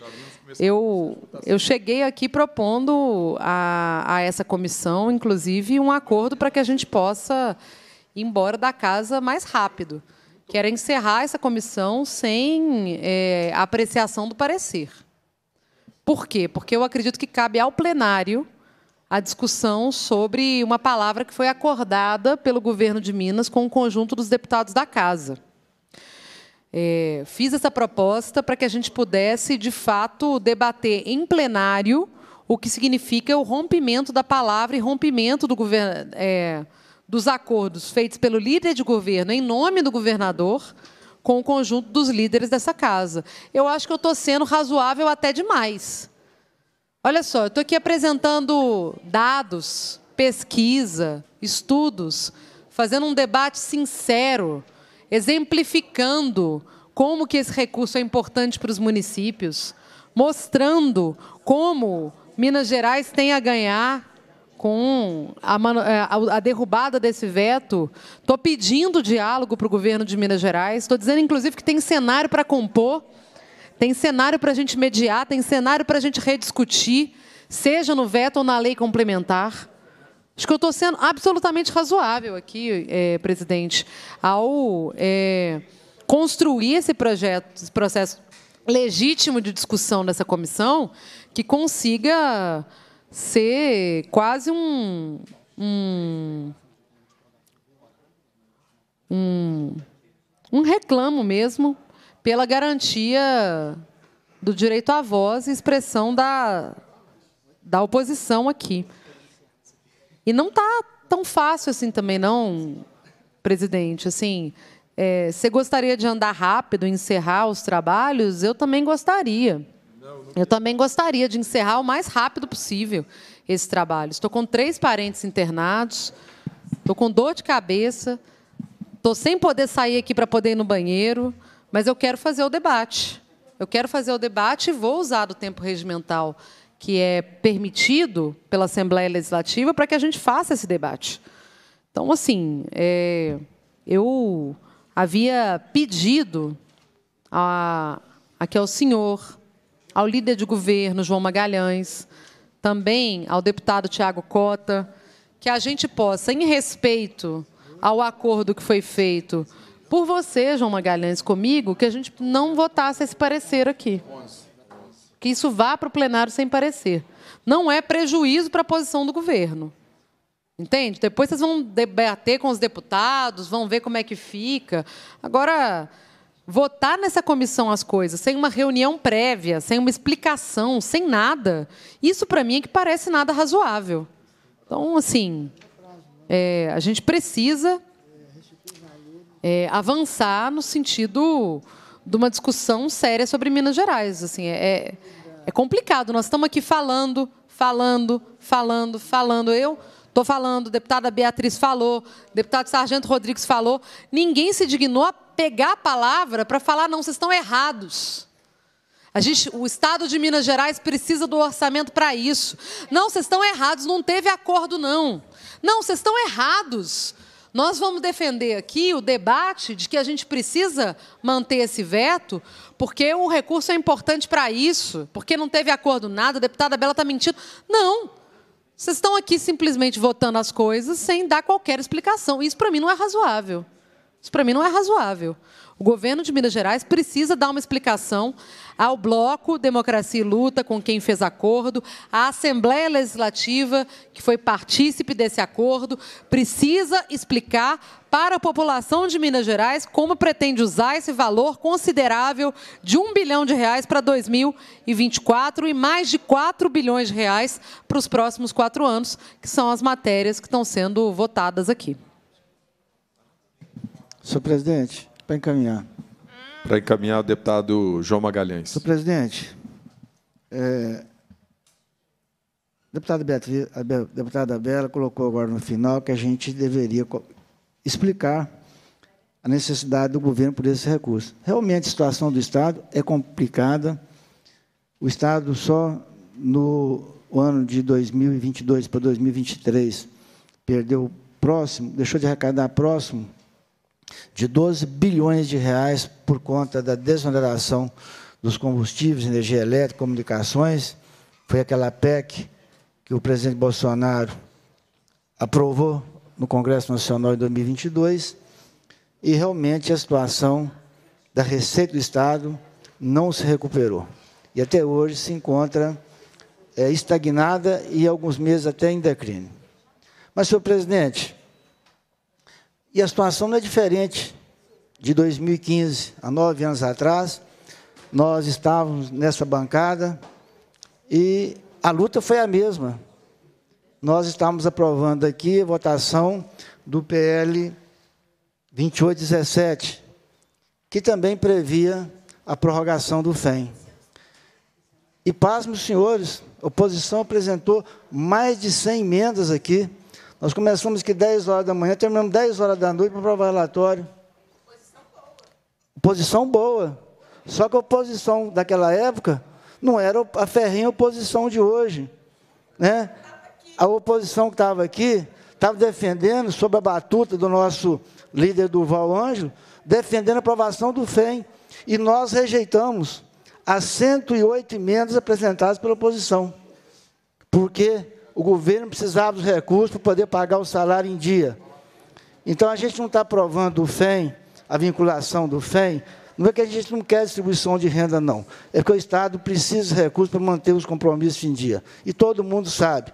Quem lê um pouquinho e quem conhece um pouquinho de orçamento, sabe que a receita caiu, que o caixa do Estado não está com a receita né, que alguns sindicatos vivem, mandando aqui através de relatórios ao bloco democracia e luta, a situação é complicada. E nós sabemos disso, que a gente acompanha o dia a dia com responsabilidade. Eu vou ser coerente, vou continuar votando pela manutenção do veto, vou votar com o relator, assim como eu fiz em 2015, a favor do governador, meu amigo Fernando Pimentel. Obrigado, senhor presidente. Muito obrigado, deputado João Magalhães. E antes de passar a votação, eu quero apenas dizer para a deputada Bela Gonçalves que não estou com nenhum pouco de pressa para que a gente possa concluir. Todos me conhecem aqui muito bem e acho que posso falar que todos que estão aqui são muito afeitos ao processo legislativo, estamos muito presentes no processo legislativo aqui, constantemente acompanhando as comissões, plenário, e a gente sabe que nós temos que cumprir regimentos, cumprir é, a nossa legislação, e assim nós vamos, sem pressa alguma, concluir o objetivo dessa reunião. Por isso, eu passo agora ao processo de votação do parecer de maneira nominal, conforme aprovado através de requerimento apresentado pela deputada Bela Gonçalves. Como vota o deputado Tiago Cota? Voto favorável ao relator, presidente. Muito obrigado, deputado Tiago Cota. Como vota o deputado João Magalhães? Com relator, senhor presidente. Voto sim. Como vota o deputado Gil Pereira? Voto com relator, sim. Como vota a deputada Bela Gonçalves? Nada contra o relator, eu voto contra o parecer. Esse presidente também vota a favor do parecer, então, por quatro votos a um, está aprovado o parecer. Registro o voto contrário. Voto, registro o voto contrário da deputada Bela Gonçalves. Declarar o voto, presidente. Para declaração de voto, a deputada Bela Gonçalves. Vamos lá, que a gente ainda tem algumas horas. Esse é o primeiro veto, gente. É, hoje nós temos três vetos na pauta. Na, no primeiro veto participei apenas eu, enquanto, enquanto integrante da oposição, embora a deputada Beatriz esteve aqui comigo ombro a ombro fazendo o reforço às posições políticas. Agora, no próximo projeto de lei, seremos duas a debater, encaminhar os projetos de lei, e eu acho que essa reunião pode se estender bastante, presidente. Eu manteria o meu pedido de que a gente não votasse o parecer do segundo projeto, para que a gente possa é, finalizar, não, não votar um tema como a erradicação da miséria altas horas da noite, colocando aqui um prejuízo não só sobre a saúde física e mental dos deputados e deputadas da casa, mas também da assessoria técnica, que está doida por um acordo, doida por um consenso para que possa também descansar um pouquinho mais nessa segunda-feira. De qualquer maneira, eu queria declarar o voto, é, fazer uma declaração de voto, lamentando, sabe, deputado João Magalhães, essa, essa última fala. Porque o senhor disse que a situação do Estado é complicada, que o veto precisa ser sustentado para que o Estado mantenha os seus compromissos em dia. Hora nenhuma o senhor explicou por que, no ano passado, pôde assumir um compromisso conosco que agora está sendo desonrado.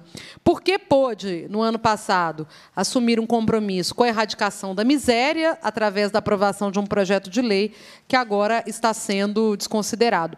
Quais compromissos estão sendo considerados pelo Estado quando ele diz que precisa manter os compromissos em dia? E aí, assim, eu queria lembrar um pouco que, de fato, o Estado de Minas Gerais tem uma das situações de isenção fiscal mais graves do país, assim. A gente dá muito prêmio para amigo, muita isenção de orçamento para os amigos. E aí eu queria lembrar que quando o governador Pimentel deixou o estado de Minas Gerais, o volume total de isenção fiscal era de 4 bilhões de reais.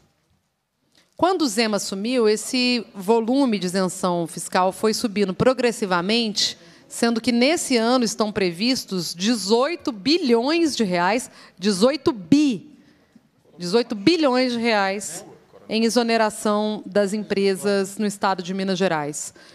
Para o ano que vem, estão previstos 22 bilhões de exonerações de, de né, dos impostos. Então, assim, quais compromissos o Estado de Minas Gerais quer honrar e por que o compromisso que assumiu com a Assembleia Legislativa e com a erradicação da miséria não tem lugar nessa fila? A justificativa que foi dada é, pelo líder de governo, o deputado João Magalhães, foi assim injustificável. Manter o salário em dia é injustificável, deputado? Não, eu estou falando que o senhor assumiu, que o governo de Minas Gerais assumiu um compromisso no ano passado com a erradicação da miséria e que assumiu um compromisso com essa casa de atrelamento do Fundo de Erradicação da Miséria ao FEAS. Esse compromisso está sendo desconsiderado. O compromisso de exonerar as empresas em até 22 bilhões de reais está se sobrepondo é, na leitura do governador. Deputado, presidente, declaração de voto. Muito obrigado, deputada Bela Gonçalves. Para a declaração de voto, deputado João Magalhães. Só para esclarecer para a deputada que as, as concessões fiscais, os regimes especiais de tributação, eles são eles não são fixos. Isso tem uma correção de acordo com, a, com, a, com o faturamento. Se a economia está crescendo, se o faturamento das empresas estão crescendo, as desonerações também crescem junto. Então, elas não vão ficar congeladas em 4 bilhões desde 2018 até 2050, não. A cada ano ela vai crescendo de acordo com o orçamento, de acordo com a arrecadação. Se a empresa arrecada mais, a, a, o regime tributário especial dela, ela deixa de, de pagar menos imposto. Essa é a matemática, todo mundo sabe disso. Obrigado, senhor presidente. Eu que agradeço. Presidente, só uma deputada- pergunta. Qual foi o valor dado em isenção para o Salim Matar no ano passado, quando o Estado já tinha Deputada, aderido Deputada, amanhã nós Declaração comissão, vou de trazer os dados para a senhora. Um bilhão de Eu agradeço a deputada Bela Gonçalves, deputado João Magalhães, deputado Tiago Cota, deputado Zé Laviola, deputado Sargento Rodrigues, deputado Gil Pereira, deputada Beatriz Cerqueira, toda a nossa assessoria aqui. E cumprida a finalidade da reunião, a presidência agradece a presença dos parlamentares, determina a lavratura da ata e encerra os trabalhos. Vamos lá, próximo.